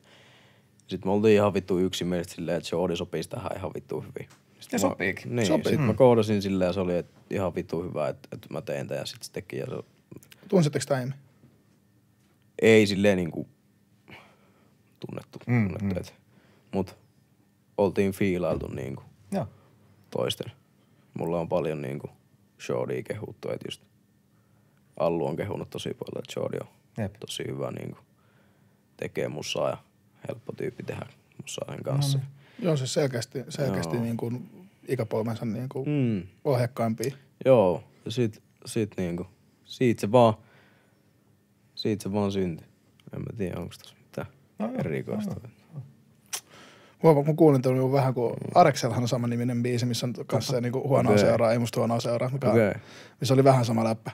Mä olin silleen, että, ja tietenkin noitahan nyt tapahtuu kaikille. joo, mä en oo kuullut. Joo, nyt, No kato tuommoiset nuoret kollit. Huonoa seuraa. What can you do? Joo, eilen myös sinkkulaarista. Joo, Eiks vaan? joo. Olihan se sinkku. Oli. Oli, oli. Siinä tuli video. Werner Linnan kuvaama video myös. Mitäs Onks siinä? siitä mitään? Se on vähän tommonen melankolinen, mutta ei surullinen. Joo. Se on kuitenkin suht silleen toiveik. Tai semmonen Mm. niinku toiveikas biisi. Siinä vähän muistellaan niinku me- menneitä aikoja ja ei siinä ole mitään sen kummempaa. Mun mielestä yksi ton levyn ehkä parhaita biisejä. Nice. Niinku vaivillisesti ainakin. No niin, hyvä. No, kiva aina kuulla, mistä jengi tykkää itse silleen. Uh, seuraava sisältääkin sitten futisviittauksen ja meikäläiselle törkeän yllättävän fiitin. Miten ihmeessä sä päädyit legendaarisen Evil Stern haistelemaan tuohon? Stö, Stö tulee loistavalla versillä läpi ja, ja, ja tota, toimitte hyvin kimpassa, tosi, tosi kliffa biisi. Joo, me tehtiin tota...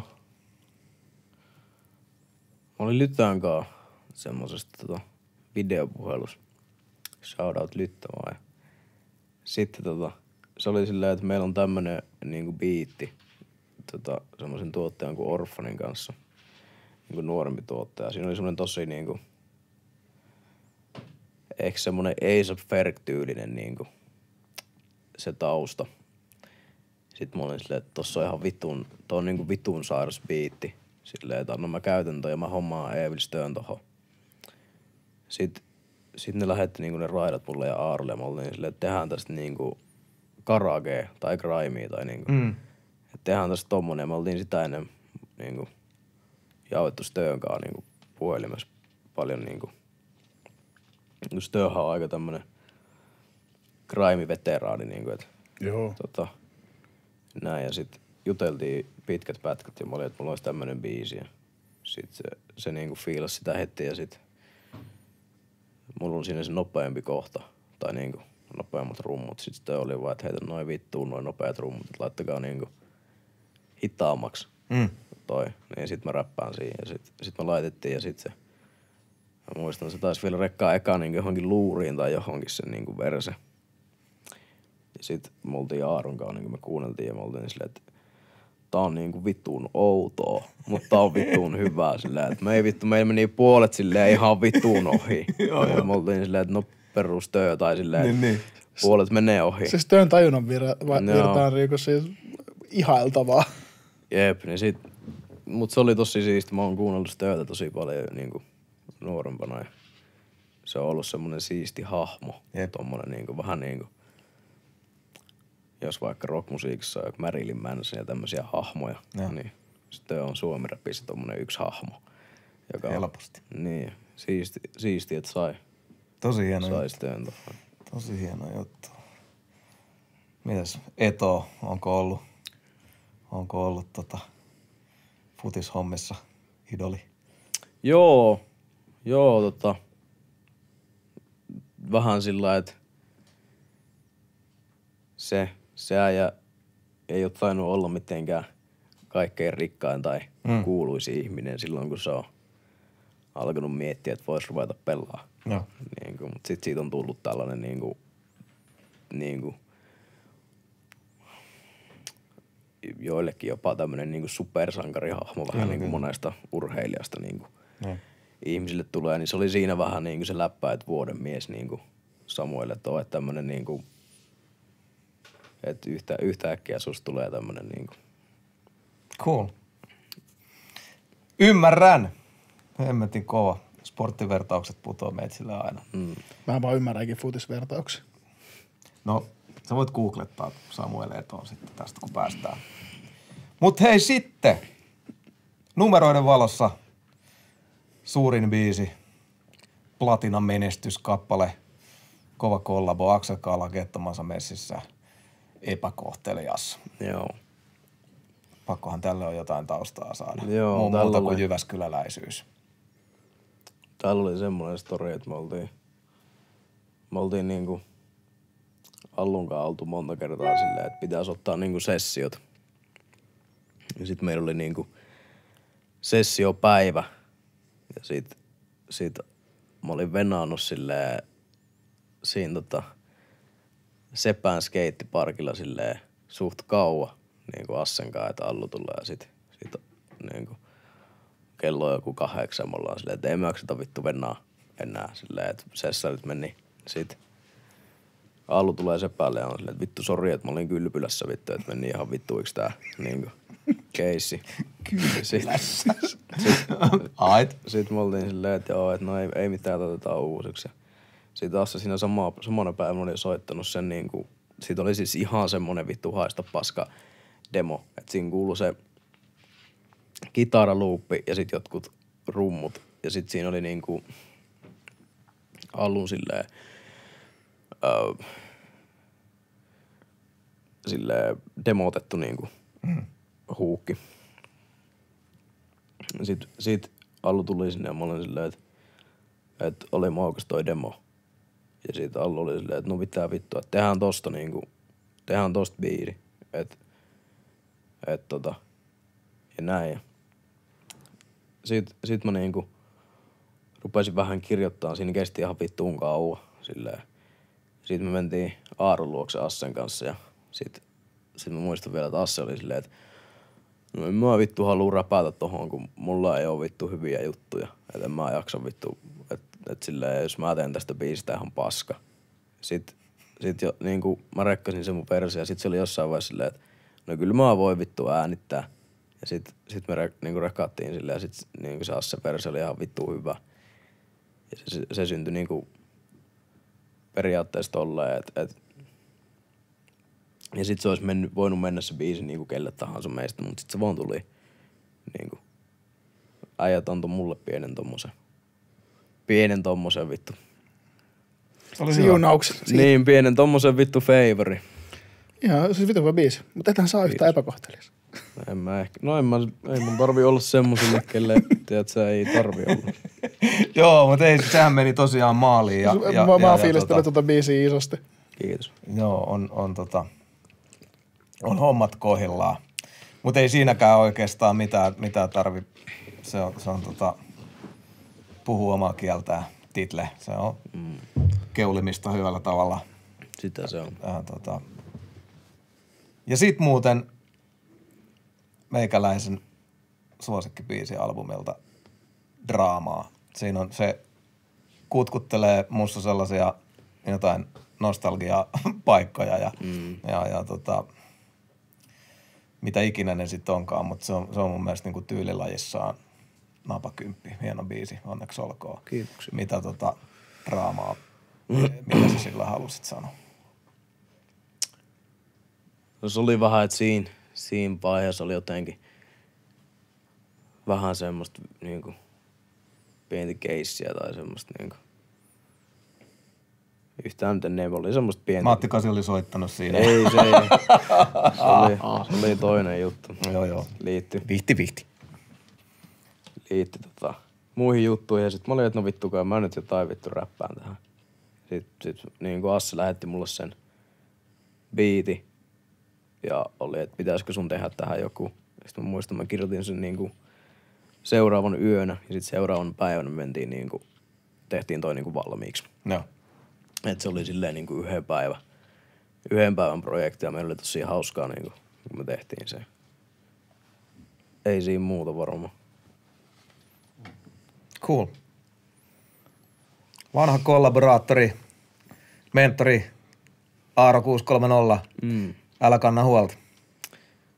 Joo, toi on myös hauska, että jos on, jos pyytää Aaroa fiittiin, niin se ei, vittu Aaro just eilen oli mulle, että älä puhu meikästä vittu mitään paskaa. Mut ei Sori, nyt oo- Aaro. Ei tää oo paskaa. Tää- pitää, vasta- pitää, pitää vastata haastattelijoiden kysymyksiin, tai on epäkohtelias. Jep.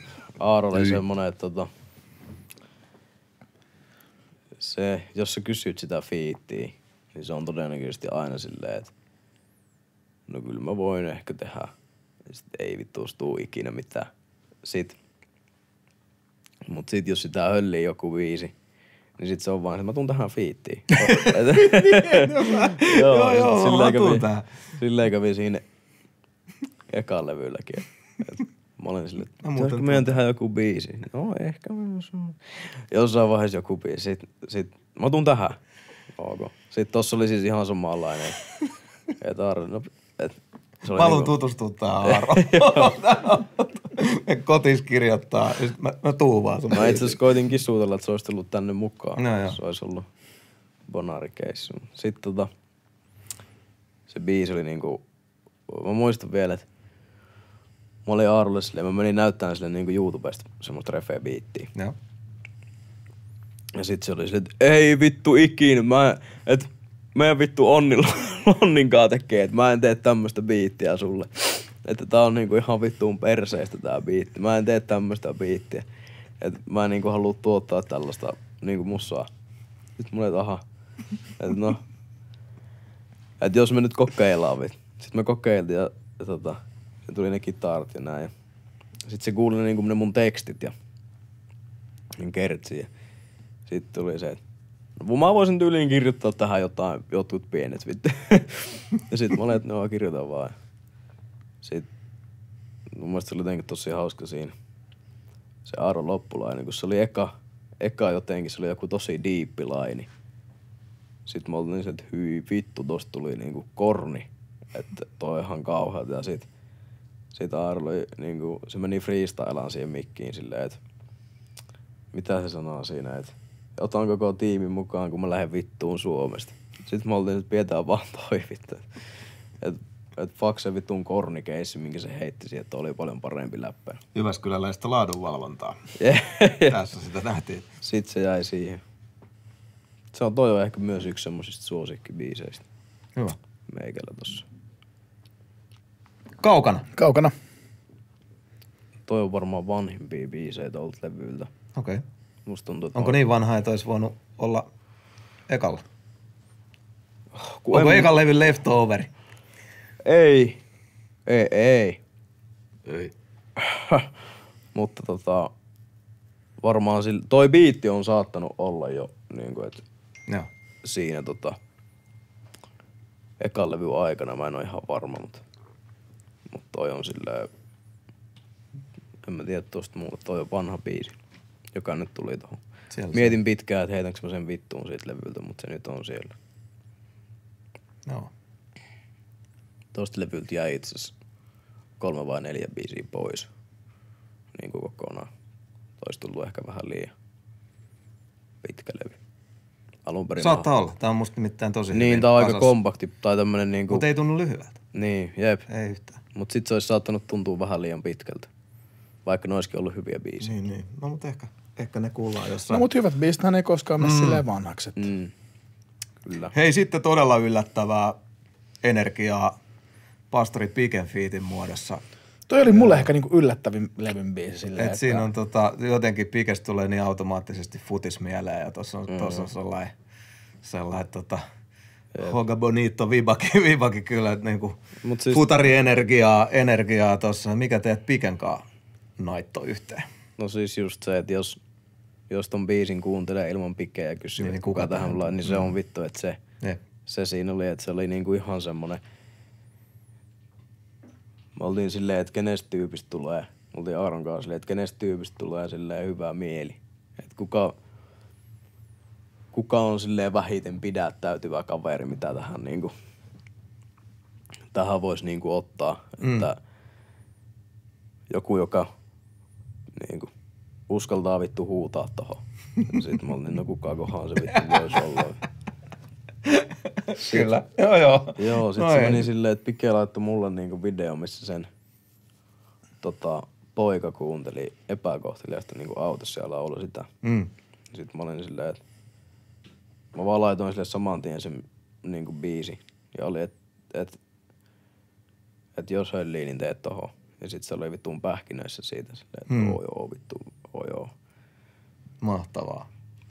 Näinhän se parhaimmillaan mm. menee. Tosi hyvä. Shoudit pike. Sitten siellä on tunteeton. Se on mun lempibiisi tuolta levyltä. Mä oon siitä, siihen päätynyt. että- Joo. Joo, on tullut luupattua. Vittu luupattua tosta biisistä ei pysty edes puhuu vittu. Tai no pystyy, mutta se on niin vittu. Siis mä vihaan sitä biisiä ihan vittuusti. No syystä, että kerro nyt edes se. Syystä, että vittu se on masteroitettu yli 15 kertaa ja miksattu joku 18 kertaa ja eksportattu vääränä tiedostoina ja otettu pois digiputkesta. Ja, tai si- Okei. siinä oli siis ihan vittuumoinen keissi. Silleen, että me oltiin rekkauttu se, me oltiin, meillä on siis monesti Aaron kanssa silleen, että kun me tehdään niin joku biisi, mm. niin se kannattaisi sen niin kuin biisin hurmoksen jälkeen legi tsekkaa vaikka seuraavana päivänä, että siinä ei niin kuin ole tullut mitään tämmöisiä hurmoksessa tehtyjä huolimattomuusvirheitä. No ei mitään, me pistetään se niin kuin miksi ja masteriin. ja Aaro lähti kaupungista pois, lomailee vähän tyyliin Tampereelle tai jonnekin.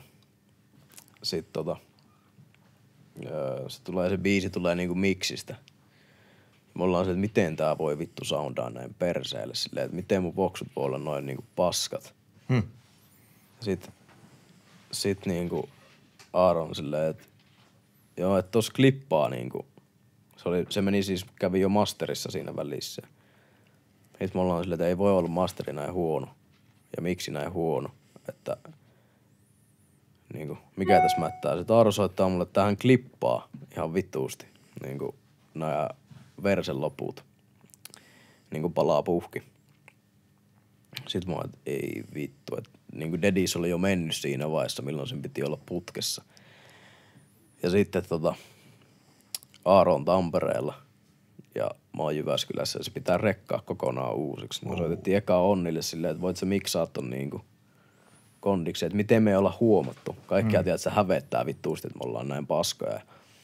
Sitten tota, tää niinku, Onni on silleen, että en mä saa tätä pois. Mä luulen, että te, teitä ei haittaa toi klippaus. Ja sitten mä oon että no vittu idiootti, että kyllä sun pitää sanoa vittu, että jos siellä on joku, tai ei me haluta, että se klippaa. Sitten Ahro soittaa sen pikkubroidille silleen, että, että tämmönen case, että voitko mennä kotiin ja äänittää niinku pyryä. Sitten se on silleen, että no joo. Sitten sen broidi tulee hakee mut. Onko Broidikin mun se jäbi? Joo, se on mut, mut enemmän niinku semmonen niinku jatsi, Okei. jatsi niinku tommonen Joo. experimental rock mies. Ja Joo, Okei, sori, sori, että keskeytin. Ei mitään, ei mitään. Sitten sit se tulee hakee mut ja tota, mä oon, että pitäis vissiin rekkaa toi niinku uusiksi. Ja sit se on silleen, että joo, että rekkaillaan vaan. Ja sit se Aaro soittaa silleen, että kattokaa nyt, mitkä kaikki siellä vittu klippaa, että onko siellä jotakin muuta. Sitten Aaron Broidi kattoo se, silleen siellä klippaa kaikki, niinku ihan kaikki silleen, niinku vaan distorttaa. Ja mä- niinku sit Aaron Broidi on silleen, että miten te olette ollut näin huonoja. Ja niinku, että miten te ette ole huomannut tätä. Sitten mä oon, että no ei mitään. Että mulla ei ollut yhtään fi... Mä olin vittu silleen lähtenyt sinne, tiedätkö, niinku vaan sortseissa ja sandaaleissa. Silleen, että mä ajattelin, että se on viiden minan keissi. Ja mä ärsytti niinku ihan vittuusti mennä sinne. Ja sit vielä Aaron Broidi on mulle silleen, että tää pitää rekkaa kokonaan uusiksi. No ei mitään. Rekkaattiin se kokonaan uusiksi, saatiin siihen niinku hyvää soundia, se menee, menee miksiin ja sit se menee taas masteriin ja me ollaan, että on ihan vittu hyvä. Ja sitten Arto tulee soittaa, että tosta puuttuu tunne tosta niinku kakkosversen laulukohdasta, että sen pitäisi olla siinä. Että toi ei soundaa yhtään hyvältä. Ja sit Aaro oli vielä tehnyt silleen, että se oli kuullut sen niinku, kuullut sen tota, että siitä puuttuu se tunne ja soitti niinku Laurille, että viitinkö mä sanoa tästä enää. että tää on kussun niin, kuin niin monesti. Että viitinkö mä sanoa Pyrylle, että tosta puuttuu tunne vai annaks mä ton vaan mennä. Ja sit Laurinen silleen, että kyllä sun pitää sanoa, että, että toi, on, toi on kuitenkin niin kuin iso levy, että sun pitää sanoa tosta, että siitä Aaro soittaa, että no morjesta, että puuttuu tosiaan noin kaikki efektit ja tunneet tosta toisesta versista ja oon, että mä vaan vittu, mä olin salliilla sillä, mä vaan flippaan vittu kaikki painot vittu seinään. Mä, ei vittu, että sitten mä olin Heibulla silleen, että nyt lähdet vittu viemään meidät sinne Onnin luokse ja mennään sinne Onnille ja vittu laitetaan kaikki niin, kuin niin helvetin minttiin kuin voi olla. Monta kertaa tarkistetaan se ja sitten se menee masteriin ja sitten tulee masteri ja Iida oli silleen, että miten tää masteri soundaa näin vittuun tunkkaselle. Sitten Aaro on silleen, että on muuten outoa, että mun niinku...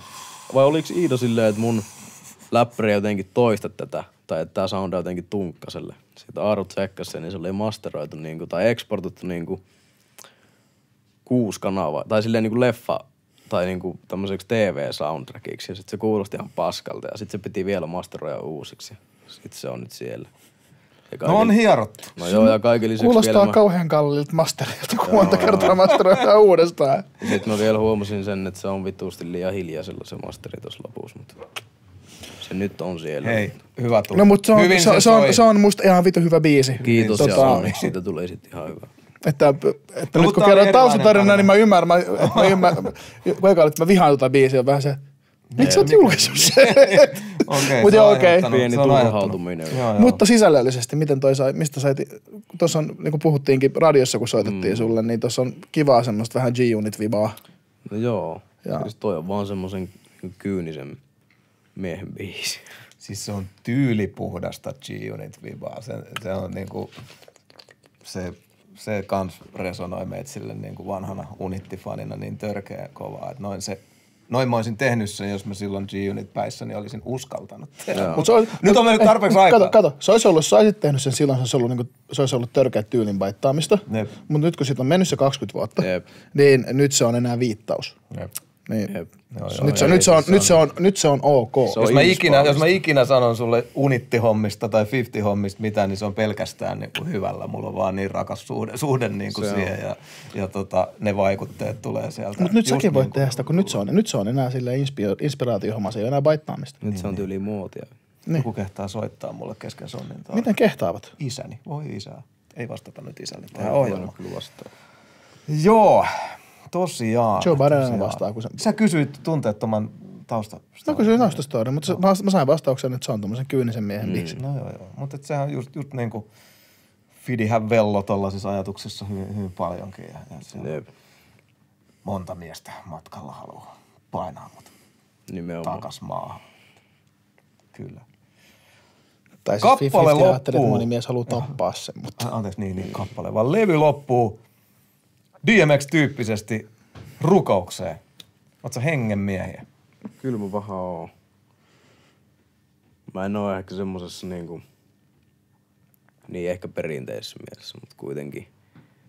Tai että tota, en ehkä aina elä sen mukaan, mutta niinku, uskon siihen, Hei, että mä uskon, mä uskon siihen, että me, me, meidän, mä uskon, että me edustetaan samaa uskontokuntaa sun kanssa, niin jotenkin raamatulla päähän meininki on vähän, vähän väärä meininki. Ja eikö, se- eikö se niin ole, että tämä homma perustuu ennen kaikkea anteeksiantoon. Että No siis ihmisen, ihmisen niin erheellisyyshän tässä on se, Just on se niin kuin juttu, juttu että tota, just näin, se biisi oli tervetuloa kristilliseen podcastiin Soni Taakka. juurikin näin. jaa, tota, täällä olisi näitä lucifer Vanha viihtahousu tuossa vieressä. vieressä. Mutta joo, ei, ei siis tota, noita ei ole suomirappilevyillä hirveästi. X pä- päätti, päätti levynsä prayereihin ja, ja, ja tota, noin, niin, kevyet mullat DMXlle, mutta on, onko idea levyn päättämisestä rukoukseen DMXn innoittamaan? No oikeastaan ei. Ei oikeastaan. Se oli, mun mielestä toi on vaan, Closure. niin mun mielestä toi on vaan aika hyvä lopetus. Me aloitettiin tommosella vittu, että suoraan päätä vittu veden alle ja sit lopetetaan se tämmöiseen, että vittu hempeily. Jep. Kuka ton uh, Huukin melodian on tehnyt? Minä. Siinä. Siis se on niinku, oon monesti sen sanonut, enkä häpeä sitä sanoa, mutta mä oon Uniklubini kuunnellut aikanaan, mutta toi voisi olla niin kuin jonkun, Oikeesti? siis tyyliin niin kuin Uniklubi Melsu. Ja siitäkin mulla tuli tosi hyvä mieli. Mä, mä en usko, että se on ehkä sun kohdalla tullut niinku sieltä, mutta Joo, se melodia kulku ja se, mutta sitten sit se, miksi se biitti siitä lähtee, niin vie sitä tietysti Mm. ihan niinku eri, eri suuntaan. Siinä tulee iloa ja keveyttä siihen, mutta et mä olin ihan, että ei saa. Vittu, toi oli kyllä vittu läppä. Siis, siis tota, Vai osuinko mä johonkin tästä? mä en osaa sanoa, siis mä joskus kuuntelin Uniklubia. Se melodia kulku on. Et mä en tiedä, että onks mä vittu alitajuisesti vaan vittu. Jep. Niin vittu, mistä mä tiedän. Niin. Ei, mutta tuota, tuohon on ihan semmoinen juttu, että esimerkiksi tota, kaikki mitä sä kuuntelet tavallaan niin kuin luo sen, Nimenomaan. mikä on käsitys musiikista. Ja mulle kävi itselle tuommoinen, kun puhuttiin joskus studiossa yhden mun tuottajan kanssa, että niin kuin ekasta biisistä, mikä ikin kuunnellut. Mm. Ja mä soitin semmoisen, semmoisen lastenlaulun, mitä mä, mikä, missä on semmoinen saksofonisoolo. Mm. Ja mä oon mukaillut sitä saksofonisoolo melodiaa Joo. aivan vitun monessa biisissä. Tai kun, kun mä lähden Niin, hakeen, niin, niin, ne on semmoisia alitajuisia juttuja, että jos sä oot vaikka niinku tietyn ikäisenä altistunut paljon sellaisen musalle, niin sieltä se on vaan se, miten musan käsittää, niin ne tulee sieltä. Mm. En mä, mä en ehkä suoraan kyllä usko, että toi on silti kuitenkaan Uniklubista tullut, mutta mä kyllä ymmärrän tuon sun vertauksen nyt, kun mä rupesin tässä miettimään.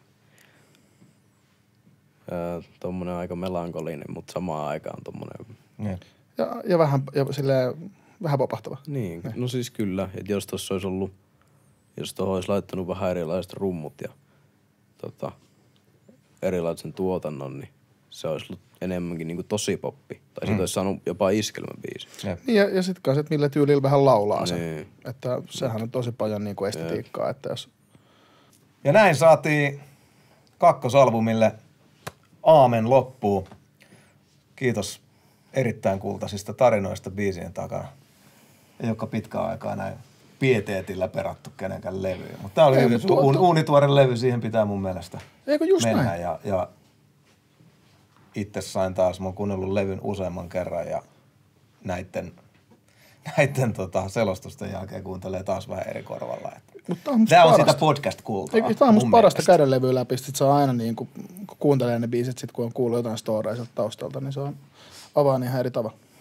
Meillä on uuden levy julkaissut artisti tässä grillattavana, niin henkilökohtainen mielipide, paitsi että pidin albumista ja se on tämän vuoden parhaimpia suomirappi-julkaisuja ihan helposti ja heittämällä.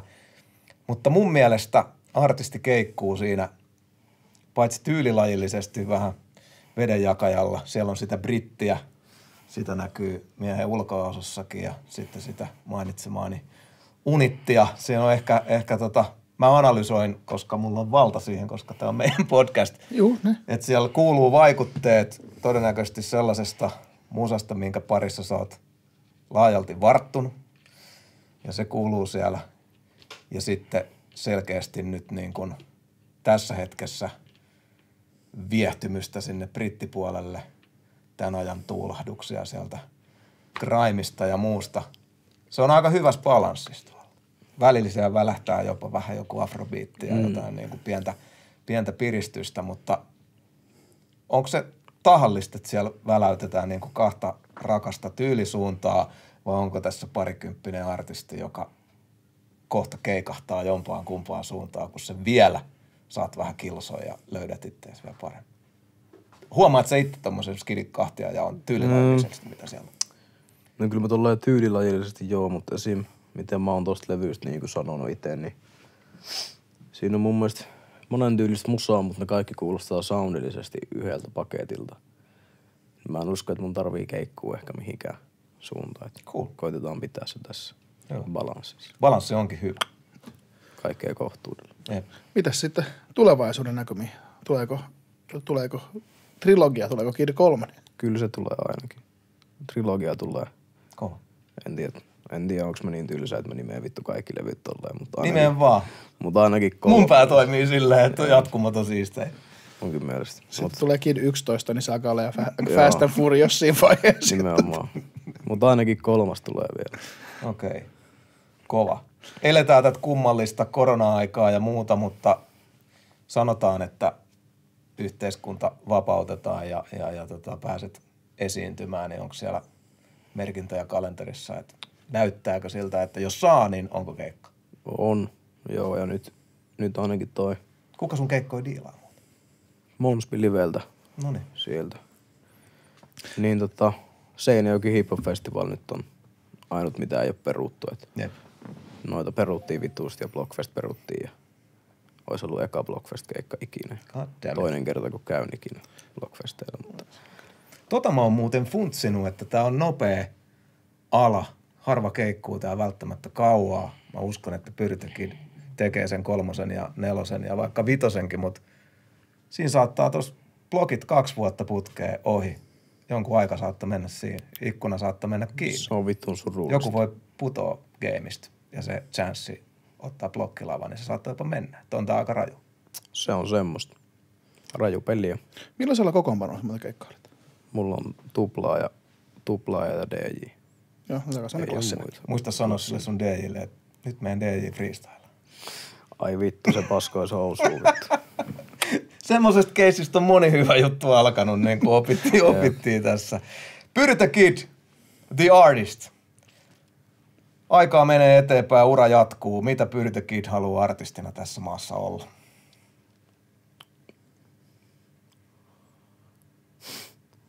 Vittuuks mä tiedän. Ollaan nyt vaan päivä kerrallaan.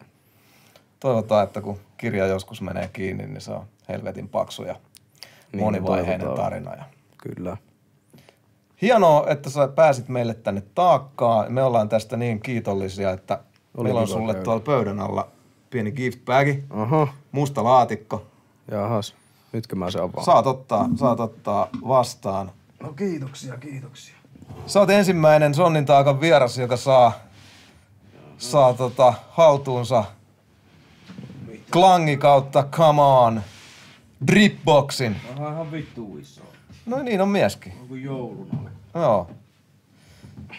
Se sisältää ihan uunituoretta merchia, ketä Mä ei ole vielä kellään. Mistä aukeaa tuolta? Paitsi sen verran voin Näin tiisaa, että mä oon tässä koko aika istunut kyseisen malliston paita päällä. Jumala. Siellä, siellä pitäisi olla longsleeveä, Täällä on kaiken näköistä. oliko vyölaukkua, jopa peri, pelikortteja. Ja sit, sit siellä on semmonen valkoinen hoodie, Joo, mä... jota ei, se on niin sanottu Friends and Family. Siihen ei pääse tavallinen tallaaja käsiksi ollenkaan. Mutta jengi tulee saamaan Klangin ja Sonnin taakan dikkarit, niin tarjotaan mahdollisuus päästä tuohon merchiin kiinni erilaisten skabojen ja muiden muodossa, mutta pannaan pyrylle Kiitoksia paljon. ensimmäisenä uutta gearia haltuun. Ja Kyllä. Tämä Kiitos paljon. kiitoksena loistavasta vierailusta. Mutta ennen kuin me päästetään sut matkalle kohti Jyväskylää, niin jaksot päätetään nykyään kyselytunnin muodossa. Eli me painetaan kymmenen kiperää, jotka on tullut tuolta Sonnin taakan seuraajilta tonne toimitukseen. Ja mekään ei tiedetä näitä, ne on tullut meille tänne No ei mitään. luuriin. Ja tota, tämmönen ristikuulustelu vedetään Tupinkaa vuorovedon ja lopuksi saat valita yhden näistä, yhden näistä parhaaksi kysymykseksi tällä viikolla ja me muistamme sitten voittajaa. Ei mitään, anna paukkaa vaan. No voi aloittaa. Ensimmäinen kysymys. Suosikki räppiläini omasta kautta jonkun muun biisistä. Räppilaini. Joo. Lähdetään helpolla. Öö, Sulla on kaikki maailman lainit nyt siinä. Alkaa yksi. Vaan yksi. lytään kaikki laiskurit just niin aina ihan puhki, vaikka nukus päivässä 23 tuntia. Se on mun lempilaini. Se tuli hienosti sieltä. Jep. Tämä on mun mielestä nyt ihan jäätävän vaikea kysymys. Pyritä kiitos vastata. Kysymys kaksi. Antaako jengi liikaa neuvoja? Ei. Kolme. Mistä tuo viikate tatuointi on saanut alkunsa? Näytäs vähän kameralle. Missä puolella se on? Kumpi puolella? Onko se täällä? Uh, mä olin Hautala Villille, shoutout Pajaa Tattoa. Mä olin, että tehdään mulle tommonen ja se oli, että vitsi kun en ole tehnyt ikinä päähän, että jännittää. Sitten mä olin, että en mäkään, ei mullekaan ole tehty ja sitten ekaa kertaa molemmille ja hyvä tuli. Ei siinä ole sen kummempaa. Niin hyvä, että vähän, vähän ajan päästä haettiin sitten poskipäähän vähän lisää. Kyllä. Joo, shoudit. Hauta, Sudet hardcore, mahtava meininki. Kysymys neljä. Mikä suhde Pyryllä on uskonnollisiin asioihin? Omanlainen katsomus ja hyvä suhde. Hyvä suhde. Viisi. Tämä voisi olla munkin kysymys itse asiassa. Kiinnostaisi tietää, mistä löytyy G-Townin parhaat burgerit. Parhaat burgerit. Ei vittu. Kun sinne tuli joku uusi mesto, minkä nimeä mä en nyt muista. Se on kulma hyvä. Mut kyllä mä sanon varmaan, että joku barotsi. Ehkä. Tai sit mun omaa tekemät, mä oon aika hyvä tekemään. Ai, ai, ai. Te voitte ruveta pitää jotain räppikokki, räppikokki Oletko, oletko kokkaimessa? Ei vittuussa, mutta niitä mä Burgerit. Tupi tekee semmoisen kivan aasialaisen keittiön. Ja Mut jos palataan Heboon, niin Hebo on vittu ammatiltaan kokkia. Hebo on räppikokki, et sen kanssa sitten äijä perustaa awesome. ohjelmaa. vittu. Mahtavaa. Seuraavaan kova. Paljon nousee penkistä. Ai vittu. Mitä mä sanon, kun ei halua keulia ihan hirveästi, joku pistää todistaa vielä. Meillä onkin painottu Eh. takana. 110, 115 ehkä. En ole pitkään aikaa Kova. koettanut, mutta veikkaisin. Kovaa. Jos seuraava levy, seuraava levy olisi jotain muuta genreä kuin rap kautta hip-hop, mitä genreä levy edustaisi? Varmaan jotain humppaa. All right. Semmoista suomi-humppaa. Haitaria hommat vittu. Kyllä. Latotanssista. Se olisi ihan vittuun gangsta. Legit. Jep. Sitä kohti. Sitä kohti. Kysymys kahdeksan. Kenen artistin, suomalaisen tai ulkomaalaisen, kanssa tahtoisit tehdä yhteistyötä? Levyllä oli paljon fiittejä, mutta jäikö joku uupumaan? Tämä on semmoinen kysymys, että, että, että mä oon nyt saanut tehdä kaikkien kanssa, kenen kanssa mä oon halunnut. Niin ei mulla, mulla ei tuu silleen, mulla ei tuu mieleen. Entä toi- joku ei-räppäri, Ei räppäri. Jos pitäisi mennä ulos boksista? Mä rupean tässä nyt soveltaa omia kysymyksiä väliin, mutta No mä, vittu. Mä varmaan tekisin Samuli Edelmanin kanssa jonkun semmoisen No sille humppalevylle. vittu. Ei edes humppalevylle, kun mä tekisin semmoisen vittu kulkijan kyyneleet biisin varmaan. Ai. Semmoisen riipivän suomalaisen tuskan Hyvä. biisin. Samuli Edelmanin Mä kanssa. haluan kuulla sen biisin. Mäkin. nääkin. Samuli. Ota, nyt sä oot manifestoinut tän, nyt mm, tää voi tapahtua. Kyllä, Ehkä. kyllä, kyllä. Äh, Ysi. miksi me Jyväskylässä pyöritetään tätä koko peliä? Eli miksi te Jyväskylässä pyöritetään tätä koko peliä? Vittu, jos toi on joku mun tuttu, joka on laittanut, niin on kyllä oma hyvänen paska. Miksi me pyöritetään? No jos jakson katsoo, niin siihenhän tavallaan tuli jo Niin, vastauksiakin. Mutta... no varmaan vittu. Mä tiedän, jengi tykkää siitä. Se on hyvä vastaus. Kymppi. Nitoakin tämä homma hienosti kasaan. Aiotko koskaan muuttaa pois Jyväskylästä? Mä oon syntynyt Jenkeissä, niin mä varmaan menen joskus sinne backiin. Joo. Missä sä oot syntynyt? Charlottessa, North Carolinassa. Oho. Hornetsin miehiä. Kova. Charlotte. Ehkä joskus sinne. J. Cole on sieltä, eikö se? En mä tiedä. On. Oh, mielestä. Ja Da Baby. Siitä Vai en- Baby. En Jompikumpi baby. Jompikumpi menee babyista on North. Carolinasta. Hei, siinä oli kymmenen kovaa. Nopea kertaus. Joku näistä on Pyrytekidin mielestä paras kysymys tällä viikolla. Suosikki räppilaini omasta tai jonkun muun biisistä. Antaako jengi liikaa neuvoi? Mistä viikate tatska on saanut alkunsa? Mikä suhde sulla on uskonnollisiin asioihin? J-Townin parhaat burgerit. Paljon nousee penkistä. Mikä muu genre? Mm, kenen artistin kanssa yhteistyöhön ja miksi Jyväskylä pyörittää peliä ja aiotko koskaan muuttaa sieltä pois? Mä haluan laittaa sille, joka kysyy sitä räppilainia. Se oli mun mielestä paras. Ja vaikein. Sinä siellä, joka kysyit suosikkiräppilainia Pyryn omasta tai jonkun muun tuotannosta, tulet huomioiduksi Klangin ja Sonnin taakan taholta. Viikon paras kysymys Pyrytekidin mielestä. Kiitos Pyrytekid. Kiitos. Kiitos. This was a pleasure. Kaikkea hyvää jatkoa. Sitä samaa. Sitä samaa. teidän kanssa. Ei ensi, mutta seuraavalla, seuraavalla viikolla Sonin taakka jatkuu. Kiitos Tuomas. Kiitos Kari. Pyry. Kiitos Pyry. Kiitos. Kehis kolmatta kertaa takas kun